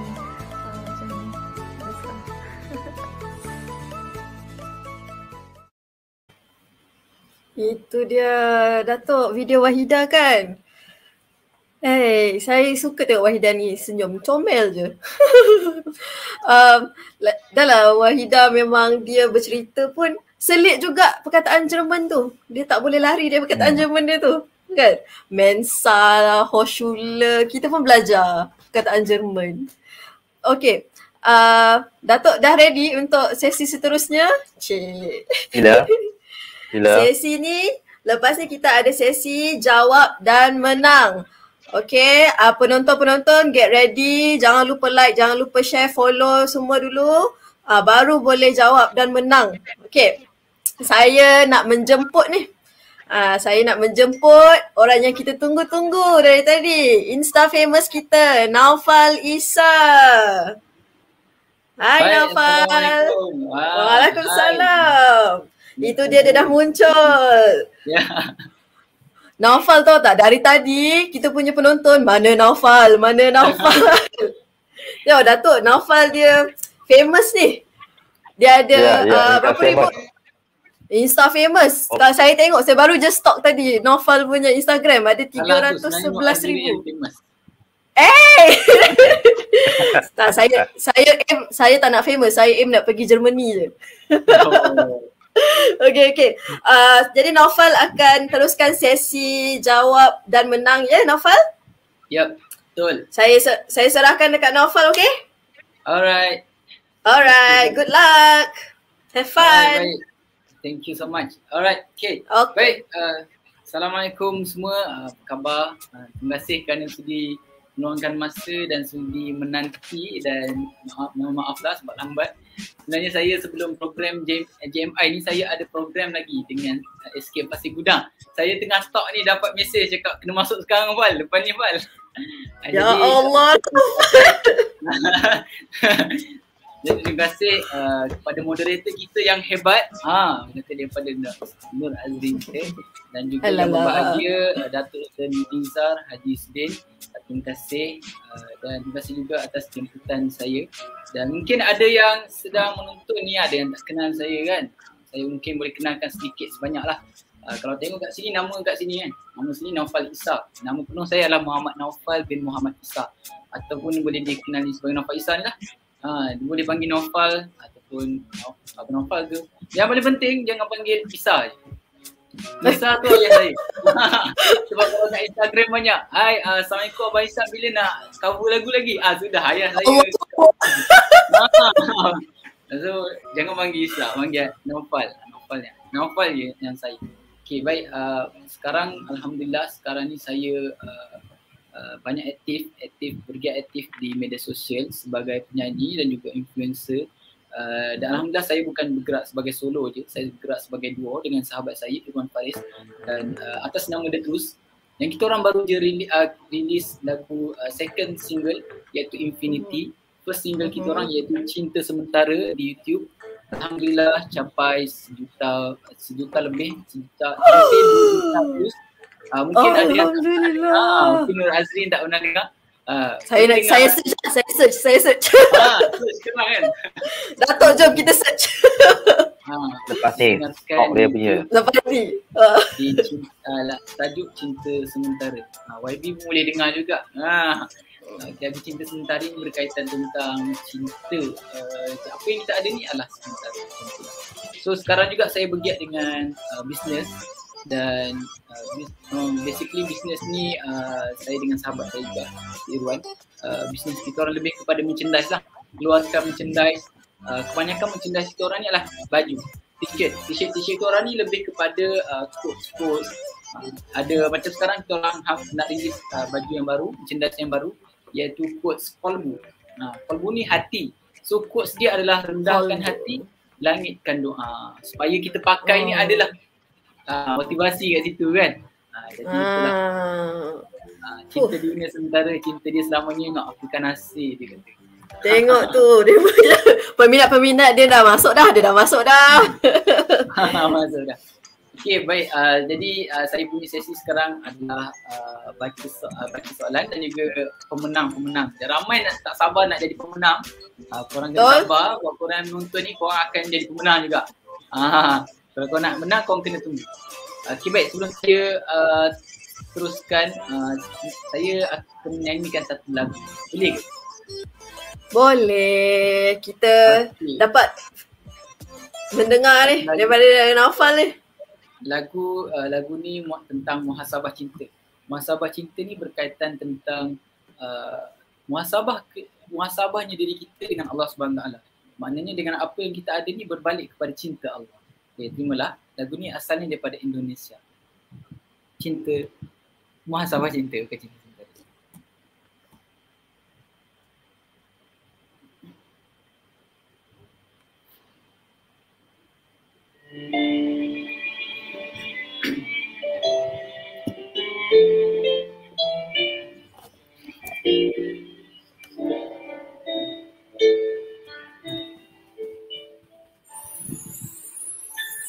Wahai pemilik nyawaku Betapa lemah diriku ini.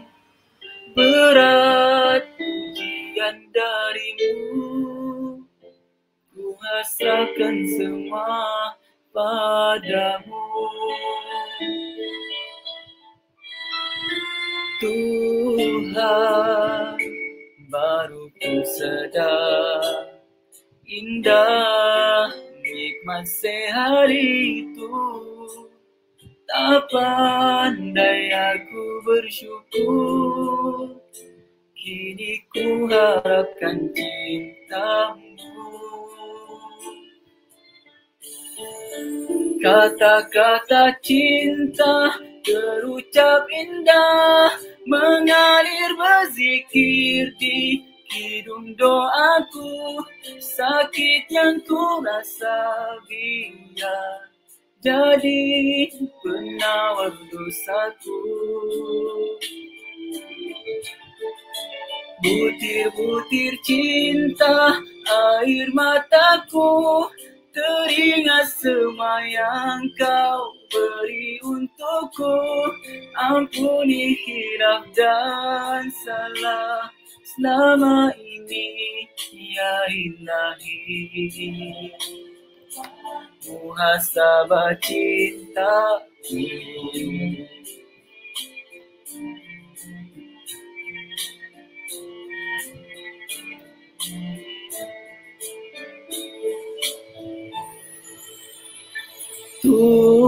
Tuhan kuatkan aku. Lindungiku dari putus asa. Jika ku harus mati Pertemukan aku denganmu. Kata-kata cinta terucap indah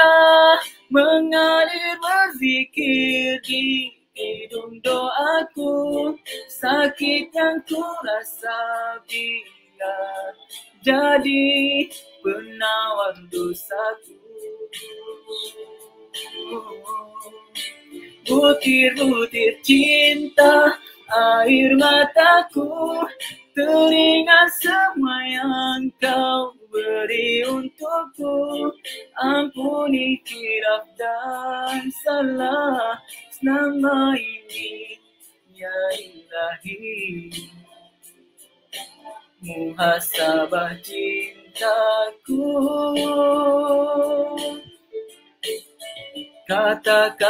cinta. Berzikir di hidung doaku Sakit yang ku rasa biar jadi penawar dosaku. Butir-butir cinta air mataku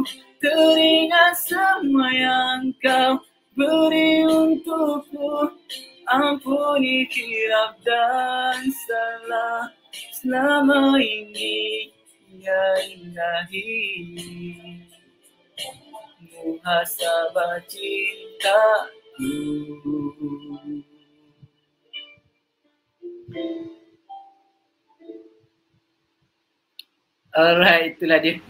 Ah, Huh. muhasabah cinta. Naufal. Okey ke Naufal. Nur Azrin? Dia macam ah, tengok penonton pun perasan saya dah nak nak sumpah ni. Itulah keluar Okey, Nauf. jadi Kak Zurin nangis nak menangis ke. Okey okey saya dah menyorok lah. Okey Naufal, sedap. Memang sedap suara Naufal. Thank you so much Naufal hiburkan kita. Okey, kita teruskan jom. Okey, jom kita teruskan. Uh, baik, uh, Kim boleh saya share sikit uh, sebelum saya masuk uh, soalan-soalan. Uh, Boleh, boleh. Just uh, short short sharing lah uh, buat penonton-penonton ataupun uh, sesiapa pun yang sedang menonton kita uh, dekat Facebook ataupun YouTube malam ni. Uh, just short sharing uh, especially untuk student-student yang mana yang macam kita tahu sekarang ni kita dalam keadaan uh, PKP, kita dalam keadaan diuji dengan COVID-19, ramai yang terkesan uh, dengan orang kata virtual, nak kena masuk kelas online. Tengok kita punya program pun online tau. Saya pun tak nampak Hmm. siapa yang ada. Kalau selalunya saya pergi program, saya akan nampak muka siapa yang ada. Muka yang Betul. tengah dengar, muka yang tengah ngantuk, uh, muka yang tengah fikir apa semua kan. Uh, jadi saya nampak sekarang ni uh, Kak Nur Azurin kita dan juga Datuk uh, Datuk je. Kita juga. Ha. Jadi So uh, kita semua terkesan lah.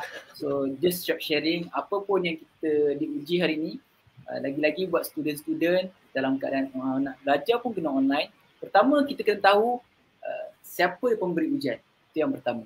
Yang kedua kita kena tahu bahawa ujian ni hanya ada dua pandangan. Ataupun ujian ni uh, dengan COVID-19 sekarang ni lah. Kita kena masuk online. Kita nak kena tak, itu tak kira masalah kita dengan mak ayah, dengan family lagi. Dan masalah dengan kawan-kawan lagi kan. Jadi ujian ni ada dua saja. Yang pertama adalah mata lebah dan juga adalah mata lalat. Ha, kalau mata lebah ni dia suka pandang benda-benda yang manis. Dia suka pandang benda-benda yang indah. Jadi, jadi andai kita pandang ujian ataupun uh, kelas online ke apapun uh, uh, yang kita kita lalui, kita pandang dengan mata lebah, mata maka kita akan uh, pandang ujian ni dengan manisnya ujian ni. Ya Allah bestnya kelas online ni rupanya Allah nak aku belajar main laptop rupanya. Sebelum ni tak pernah Hmm. sentuh laptop. Oh patutlah kenapa aku diuji sekarang sebab Allah nak jadikan aku orang yang matang.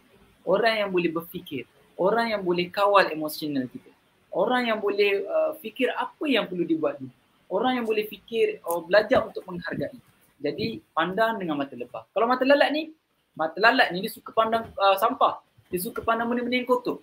Suka pandang benda-benda yang busuk. Jadi kalau kita pandang hujan ataupun stresnya kita hari ni dengan uh, benda-benda yang busuk, benda-benda yang kotor, maka kita akan aduh kenapa yang online ni, aduh banyak kerja ya Allah. Aku sebab kat rumah ni boleh main game. Uh, kat rumah ni boleh tidur. ha kan betul tak? Betul, dia fleksibel, dia fleksibel sikit. Ha. Jadi dia akan buatkan kita macam, eh nanti lah, malas lah. Hmm. Sebab tu kita kena pandang dengan mata lebah.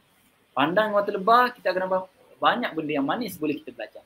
Itu dia. Uh, sedikit sebanyak yang saya boleh kongsikan yang kita diuji sekarang. Okay baik, boleh kita teruskan. Uh, orang pun tak nak dengar saya bebel sebab ini bukan. Eh. Uh, saya Okay. dah tahu dalam program bukanlah uh, panel kan. Uh, jadi sebagai kata Tetamu tetamu special. Ah, gitu. Okey, jom. Naufal, kita Naufal lah, Naufal. Bacakan Okey, soalan. Soalan yang pertama. Ready semua? Ha, soalan yang pertama adalah di manakah letaknya pejabat MARA Jerman? Ha. So jadi uh, saya ulang balik soalan. Mungkin diorang boleh nampak soalan ni kan? Nampak nampak. Ha, soalan pertama adalah di manakah Letaknya pejabat Mara Jerman. Ha. Kita dah ada pemenang dia. Ha, kita dah ada pemenang. Ha. Oi, cepat. Pantas. Pantas. Saya tak sempat nak baca dah keluar. Ah, okey. Nur Batrisha, tahniah. Jawapan dia. Tahniah. Apa macam mana sebut dia? Uh, kalau English kita sebut Frankfurt je. Kalau cara Wahida tadi Frankfurt. Macam mana tu? Kita, kita baca kita Frankfurt. Frankfurt lah kot kan. Uh, okay, yang kepada Nur Batrisha. Tahniah Nur Batrisha. Dapat apa uh, Nazuri kita? Pen drive. Pen drive Huawei. Alhamdulillah. Okay, Okay, seterusnya. Soalan kedua. Soalan kedua, apakah tagline Yayasan Pelajaran Mara? Saya ulang. Soalan kedua, apakah tagline Yayasan Pelajaran Mara? Okay, kita tengok ramai yang komen dekat YouTube ni daripada ah, ada, Hmm. kuih, ada nama YouTube kuih poci pun ada. Sedapnya. Ha. Apa tagline Yayasan Pelajaran Mara? Yep. Ni Datuk yang expert jawapan dia ni. Ah, Datuk. Ha. Datuk. Datuk. Tapi Datuk tak boleh jawab Cut. Datuk. Ha, bagi bagi clue boleh tak bagi clue? Ah, balik bagi clue boleh Datuk. Ah tu dah ada pemenang lah. Saya dah nampak dah ada pemenang. Oh, ada tak? Oh dah ada pemenang. Cuba tengok. Dah ada pemenang kan? Ha, cuba tengok. Ada ke? Siapa pemenang? Kita tunggu, kita tunggu, kita tunggu. Ah. Kita dah ada pemenang dah Naufal dekat skrin. Ya, daripada Shanurita Hashim. Ah, jawapan dia adalah dikenali, dipercayai dan deliver. Masya Allah. Yeay. Yeay. Ah, anda memenangi pendrive Huawei. Oi, pendrive ni macam-macam boleh letak dalam ni kalau Ya. Yeah. Betul. Lagi-lagi PDPR kan? Betul. Uh, PDPR Ah, bila ramai yang pakai laptop semua. Nak print senang. Yes. Uh, okay, Jadi seterusnya, seterusnya. Soalan yang seterusnya. Tanya kepada menang. Soalan yang ketiga adalah German Nation Institute terletak di mana? Oi. Come on guys, senang je Guys, ni. senang gila. German Nation Institute terletak di mana? Oh ada. Oh, oh, oh, oh. Kat Zurin kita macam nampak macam nampak sesuatu. Kita, kita tunggu, kita tunggu. Laju dia orang ni eh. Ha, laju. Semangat semua. Semangat ya Allah. Hebat hebat. Jadi ni jawapan dia. Okay, tahniah. Tahniah Aris bin Azizul Mo. Ah, jawapan dia bangi. Simple je bangi je dah dapat hadiah dah. Tahniah. Betul betul. Hadiah dia adalah uh, wang tunai bukan. Pendrive Huawei. Kalau wang tunai boleh minta dengan Kak Zuri. Minta dengan Datuk lah. Mana Datuk? Okay, soalan seterusnya. Okey, soalan seterusnya. Yang keempat. Yang keempat, panel kita iaitu saudara Aiman sedang berada di semester berapa? Ha, siapa yang uh, dengar tadi boleh jawab lah. Kalau yang baru masuk, terpinga-pinga lah korang siapa pula Aiman ni. Bukan Aiman Tino, ni yang panel tadi ni. Ah, itu dah ada jawapan. Ah, dah ada pemenang. keluar dah. Tanya kepada Nur Sakina, jawapan dia semester kelima.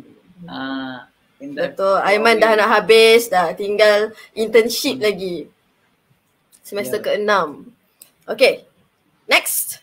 Next soalan. Ah. Soalan kelima kan? Ha, okay. Soalan kelima, JMI merupakan salah satu agensi di bawah IPMA. Apakah maksud IPMA? Hmm. Ha, Apa maksud IPMA? apa maksud IPMA ni kat sini ni?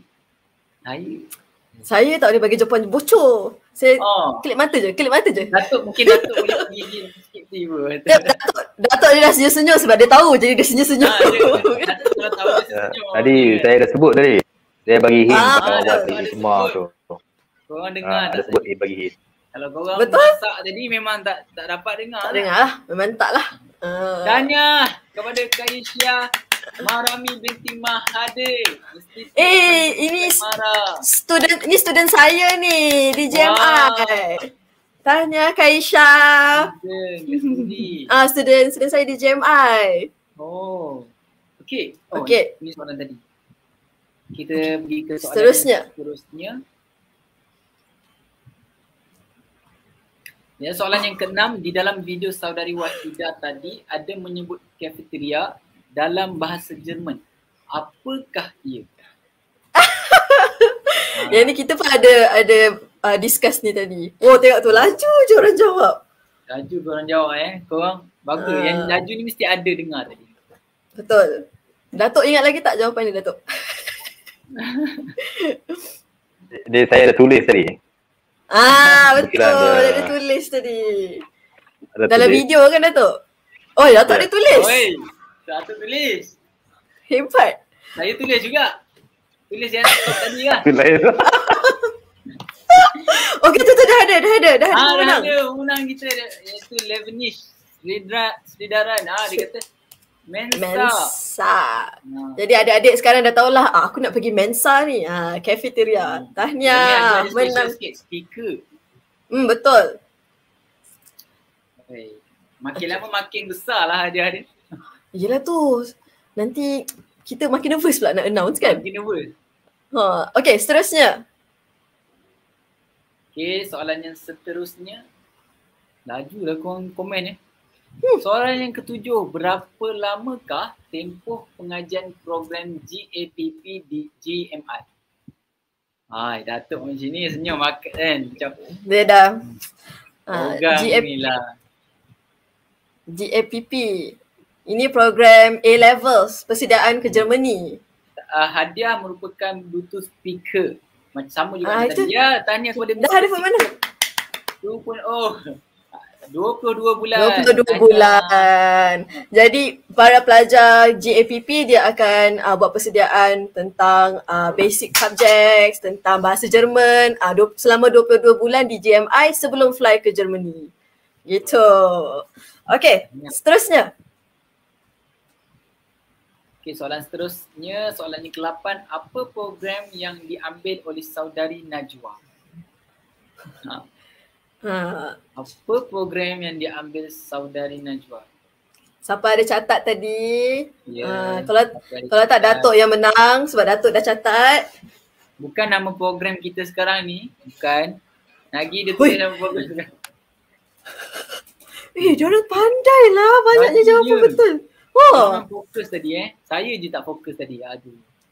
Naufal ni nak kena denda ni Naufal. Nyanyi lagi. Okey, jadi pemenang dia siapa ya? Pemenangnya adalah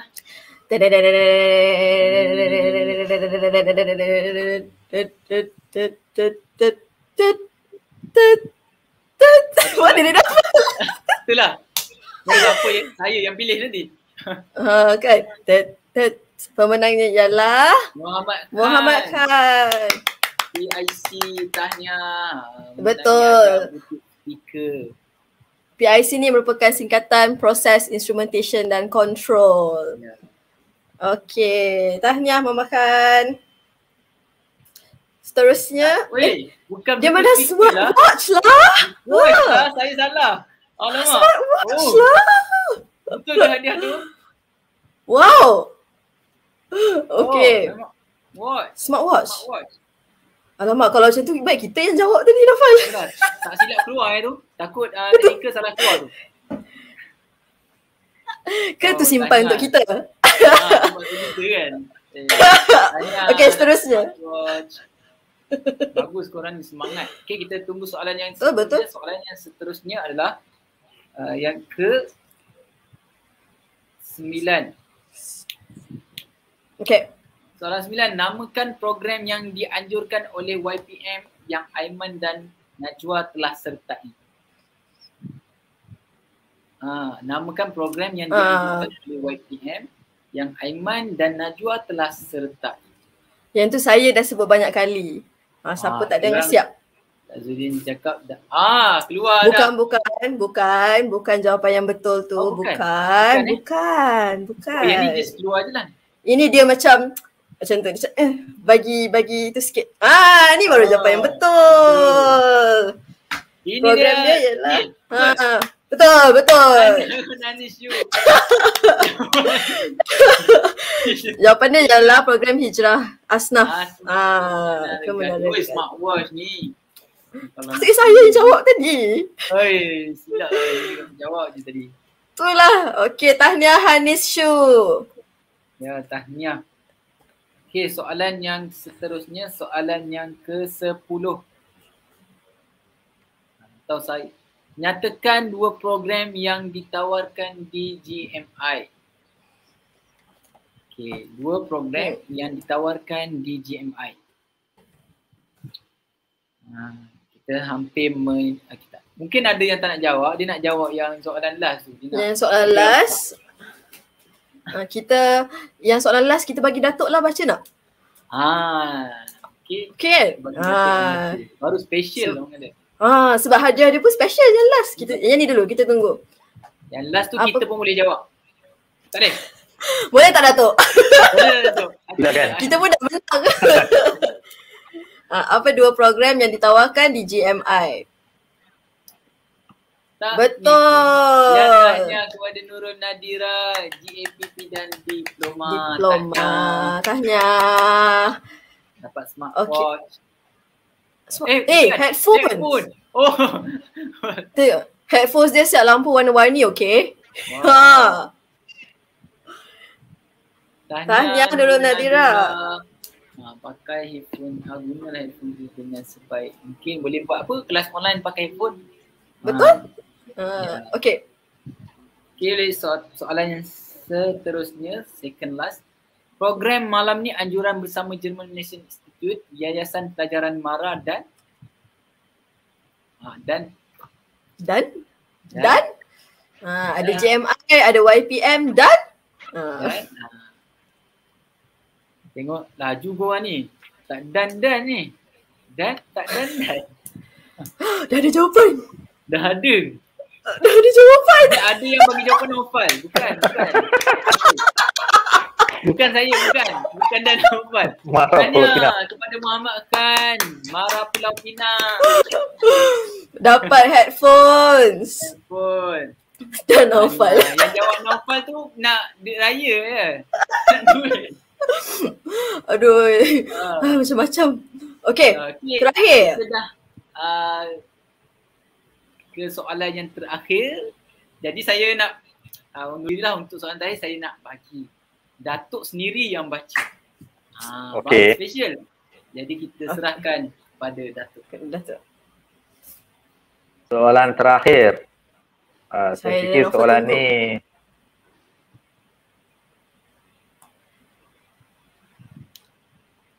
Kita tunggu okay, soalan soalan terakhir. terakhir. Eh? Yang ni Soalan soalan terakhir ke? terakhir. Ah. Ah, soalan akhir special sikit. Hadiah pun special. Um, bagaimana kaedah masyarakat boleh menyumbang kepada pelajar melalui YPM? Ah, Soalan ni soalan boleh ni menang menang tablet kan tablet, Datuk? Tablet, ya. Hmm. So bagaimana kaedah masyarakat nak menyumbang kepada pelajar ni melalui YPM? Oh. Tadi kita Kalau dengar yang ingin menyumbang, ha, Ah, Tadi tadi kita dengar YPM yang menyumbang kepada pelajar. Sekarang ni macam mana masyarakat pula nak menyumbang kepada pelajar tapi melalui YPM tu sebagai Hmm. medium. Soalan last ni pun menjawab juga ni. Dia mestilah nak menang tablet. Ah, nak tablet nak kena lah macam apa? Ah. Okay, kita tunggu jawapan. Terere, saya tengok dah ada ada ada jawapan betul lah ni. Drum Ada jawapan betul lah ni. Tengok Datuk pun dah senyum dah tu. Ah, Datuk, kita Ah. dah ada pemenang. Betul tak Datuk? e-donation, e-donation, uh, ya donation betul. Demi, uh, untuk menye- mereka yang menyumbang ke YPM, uh, untuk melayari uh, kita punya Facebook ya, melalui pautan e-donation uh, .ypm.org.my. So, tahniah kepada Bakti Syahidi. Oh, betul Tahniah tanya kepada Bagi Syahidi. Saya kata macam kenal Bagi Syahidi ni. tiba-tiba rasa macam, eh kita kawan kan? Boleh lah, Okey. pinjam eh lepas ni. Okey. Tengok tablet dia. Ya Allah. Allah. Saya dengan Naufal serentak, ya Allah. Kita kawan lama lah Bakis kan? Alhamdulillah. Okey. Dah habis dah sesi jawab dan menang kita Naufal? Betul. Alhamdulillah. Tahniah kepada semua pemenang. Uh, ni seronok dapat dapat menang macam-macam daripada sesi kita hari ini. Okey. Uh, sebelum kita tamatkan sesi kita pada malam ni, Naufal, Datuk, kita nak invite lah panel-panel yang lain nak? Kita panggil Ya. panel-panel yang Ya, lain ya, ya. so bersama-sama. Saya last jumpa panel-panel ni waktu rehearsal. Ha, ni. Hai semua. Okey, Alhamdulillah kita dah berada di penghujung sesi. Ada yang dah menang hadiah, ada harap ada yang dapat input, semangat nak sambung belajar tu. Jadi um, kita nak tanya Encik Fadli dulu. Encik Fadli. Ya, ya saya. Ah, okey Encik Fadli sebelum kita berakhir ada pesanan tak kepada panel dan kepada penonton? Lagi-lagi untuk yang berminat melanjutkan pelajaran ke negara Jerman. Kata-kata Okey akhir lah. Untuk untuk untuk panel dululah ya. Panel Betul, ni saya harapkan, saya doakan semoga berjaya lah dalam apa jua bidang, apa jua yang anda lakukan sekarang ini insya-Allah. Uh, jadilah seorang insan yang uh, berakhlak mulia sebab kadang-kadang kita itu yang kita penting tu maknanya kita kena balance ya maknanya dari segi uh, pengetahuan dan juga nilai pada diri kita. Apakah nilai pada diri kita? Iaitu akhlak lah. Uh, jadi akhlak ni akan menentukan kita, kekuatan kita lah. Jadi dalam apa saja uh, konteks ataupun apa saja bidang yang diceburi kena kuatkan semangat. InsyaAllah. Okay. Untuk para penonton pula khususnya pelajar uh, saya harap uh, jadikan inspirasi lah apa yang panelis kita, apa yang Datuk sampaikan, apa yang panelis sampaikan, uh, apa yang uh, Insta famous kita sampaikan, saudara Nafa juga jadikan uh, inspirasi untuk kita sebagai permulaan. Maksudnya uh, apa-apa pun kita kena mulakan uh, somewhere. Uh, mulakan di mana-mana uh, kerana anda lah penentu uh, masa depan anda insyaAllah. Jadi pelu- peluang dan ruang itu uh, akan sentiasa pihak MARA sediakan. Uh, jadi kita terbukalah uh, pada bila-bila masa untuk berjumpa dan bertanya lebih lanjut untuk kita. Jadi selamat maju jaya semua. InsyaAllah. Terima kasih Encik Fadli untuk atas pesanan tu. Dengar ya panel, dengar ya penonton semua. Okey dan Datuk last ya Datuk last. Uh, Datuk pula Ya. apa harapan uh, pesanan Datuk kepada panel kita, kepada penonton kita uh, lagi-lagi yang berkaitan dengan program YPM. Ya, yang pertama saya nak ucapkan the, terima kasih kepada pihak penganjur, pengurusan YPM, pegawai-pegawai daripada GMI, pegawai-pegawai daripada MJKK Pulau Pinang, MARA Pulau Pinang. Uh, special kepada uh, Tuan De Nur Ahmad Fazli di Frankfurt, pegawai MARA kita dan special juga kepada semua pegawai-pegawai perhubungan pendidikan negeri Yayasan MARA bertugas-tugas untuk menjayakan ini moderator yang cukup ceria pada malam ini dan juga adik-adik saya adik-adik saya ahli panel ni uh, saya nak minta dua perkara saja. Perkara yang pertama ialah kuatkan jati diri semasa berada di negara orang. Ya. Uh, watak, sikap uh, kita mesti berbeza dengan mereka yang sambung belajar di dalam negara. Saya yakin the kerajaan the Malaysia uh, tidak akan the, apa namanya tidak akan mengurangkan penghantaran pelajar. Maksud saya ialah tidak akan memberhentikan pengurang uh, penghantaran pelajar ke luar negara. Sebaliknya uh, memikirkan ini sebagai jangka masa panjang untuk modal insan negara di masa akan datang. Yang kedua ialah 2K. K yang pertama ialah bila kita berjaya, kita mesti ada kerendahan hati. K yang kedua ialah kena ada semangat kesukarelawan. Jas, uh, berjasa kepada mereka yang memberi jasa.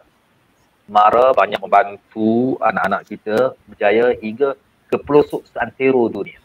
Justru itu kepada panel-panel jadikanlah inspirasi kepada yang lain ya dan yang terakhir kali ialah biarlah kita berjalan sampai ke batas berlayar sampai ke pulau. Kalau kita nak buat sesuatu perkara itu, kita buatlah dengan sung- ke- kesungguhan dan keazaman. Tak cukup dengan diploma, tak cukup dengan ijazah, sambung sehingga ke peringkat PhD. Jadikan kita InsyaAllah. inspirasi walaupun kita datang daripada keluarga yang biasa-biasa tetapi kita pastikan semangat kita jiwa kita mestilah jiwa yang luar biasa kerana bagi saya uh, kita mesti wawarkan kejayaan anak bangsa kita ke pentas dunia. Akhirnya uh, saya sekali lagi mengucapkan terima kasih banyak kepada semua ahli panel, uh, kepada para penonton, adik-adik yang berada yang sekarang ini mengikuti siaran kita. Sesi engagement ni kita akan teruskan dengan para pelajar MARA dan juga kepada alumni YPM bagi mendapatkan input-input yang baik yang amat berhormat pada menteri juga ada sebut tentang uh, perlunya jiwa, perlunya pandangan orang muda untuk memberikan input-input kepada kita. Ini akan memberikan pendedahan kepada masyarakat luar untuk mengetahui tentang uh, apakah yang Yayasan Pelajar Mara telah santuni dalam memperkasakan pendidikan anak bangsa kita. Terima kasih banyak. Betul. Terima kasih Datuk. Saya rasa kita semua bersemangat ya. Macam berkobar-kobar rasanya. Saya harap semua orang rasalah apa yang saya rasa sekarang. Berkobar-kobar kita dengan kata-kata akhir. Uh, dan memang dari awal lagi semua orang memberi inspirasi. Even um, uh, panel kita Naufal, Datuk sendiri, Encik Fadli sendiri sangat memberi inspirasi untuk kita dan penonton hari ini. Uh, baiklah sekarang kita dah nak sampai dah nak 10.30 dah sebenarnya kat sini dekat Malaysia lah, dekat Malaysia bukan dekat Jerman eh. Dah nak 10.30 jadi uh, kita boleh akhiri lah. Saya harap uh, perkongsian kita hari ini memberi manfaat kepada semua terutamanya adik-adik uh, di luar sana yang nak menentukan hala tuju pelajaran. Uh, jadi sesiapa yang berminat ataupun ada soalan uh, boleh hubungi pihak GMI, boleh hubungi pihak YPM uh, untuk uh, lebih lanjut lah untuk tahu lebih lanjut. Okey, akhir kata terima kasih kepada yang berbahagia Datuk, uh, Encik Fadli, pihak YPM, GMI, Mara Pulau Pinang, para panel kita hari ini, Naufal dan terutamanya penonton-penonton kita. Okey, kalau ada, kalau ada sumur di ladang, boleh kami menumpang mandi. Kalau ada umur yang panjang, boleh kita berjumpa lagi. Okey, terima kasih semua. InsyaAllah jaga diri, stay safe. Assalamualaikum. Terima kasih. Bye. Waalaikumsalam warahmatullahi wabarakatuh. Jumpa lagi nanti. Jumpa, jumpa lagi. Huh. Habis.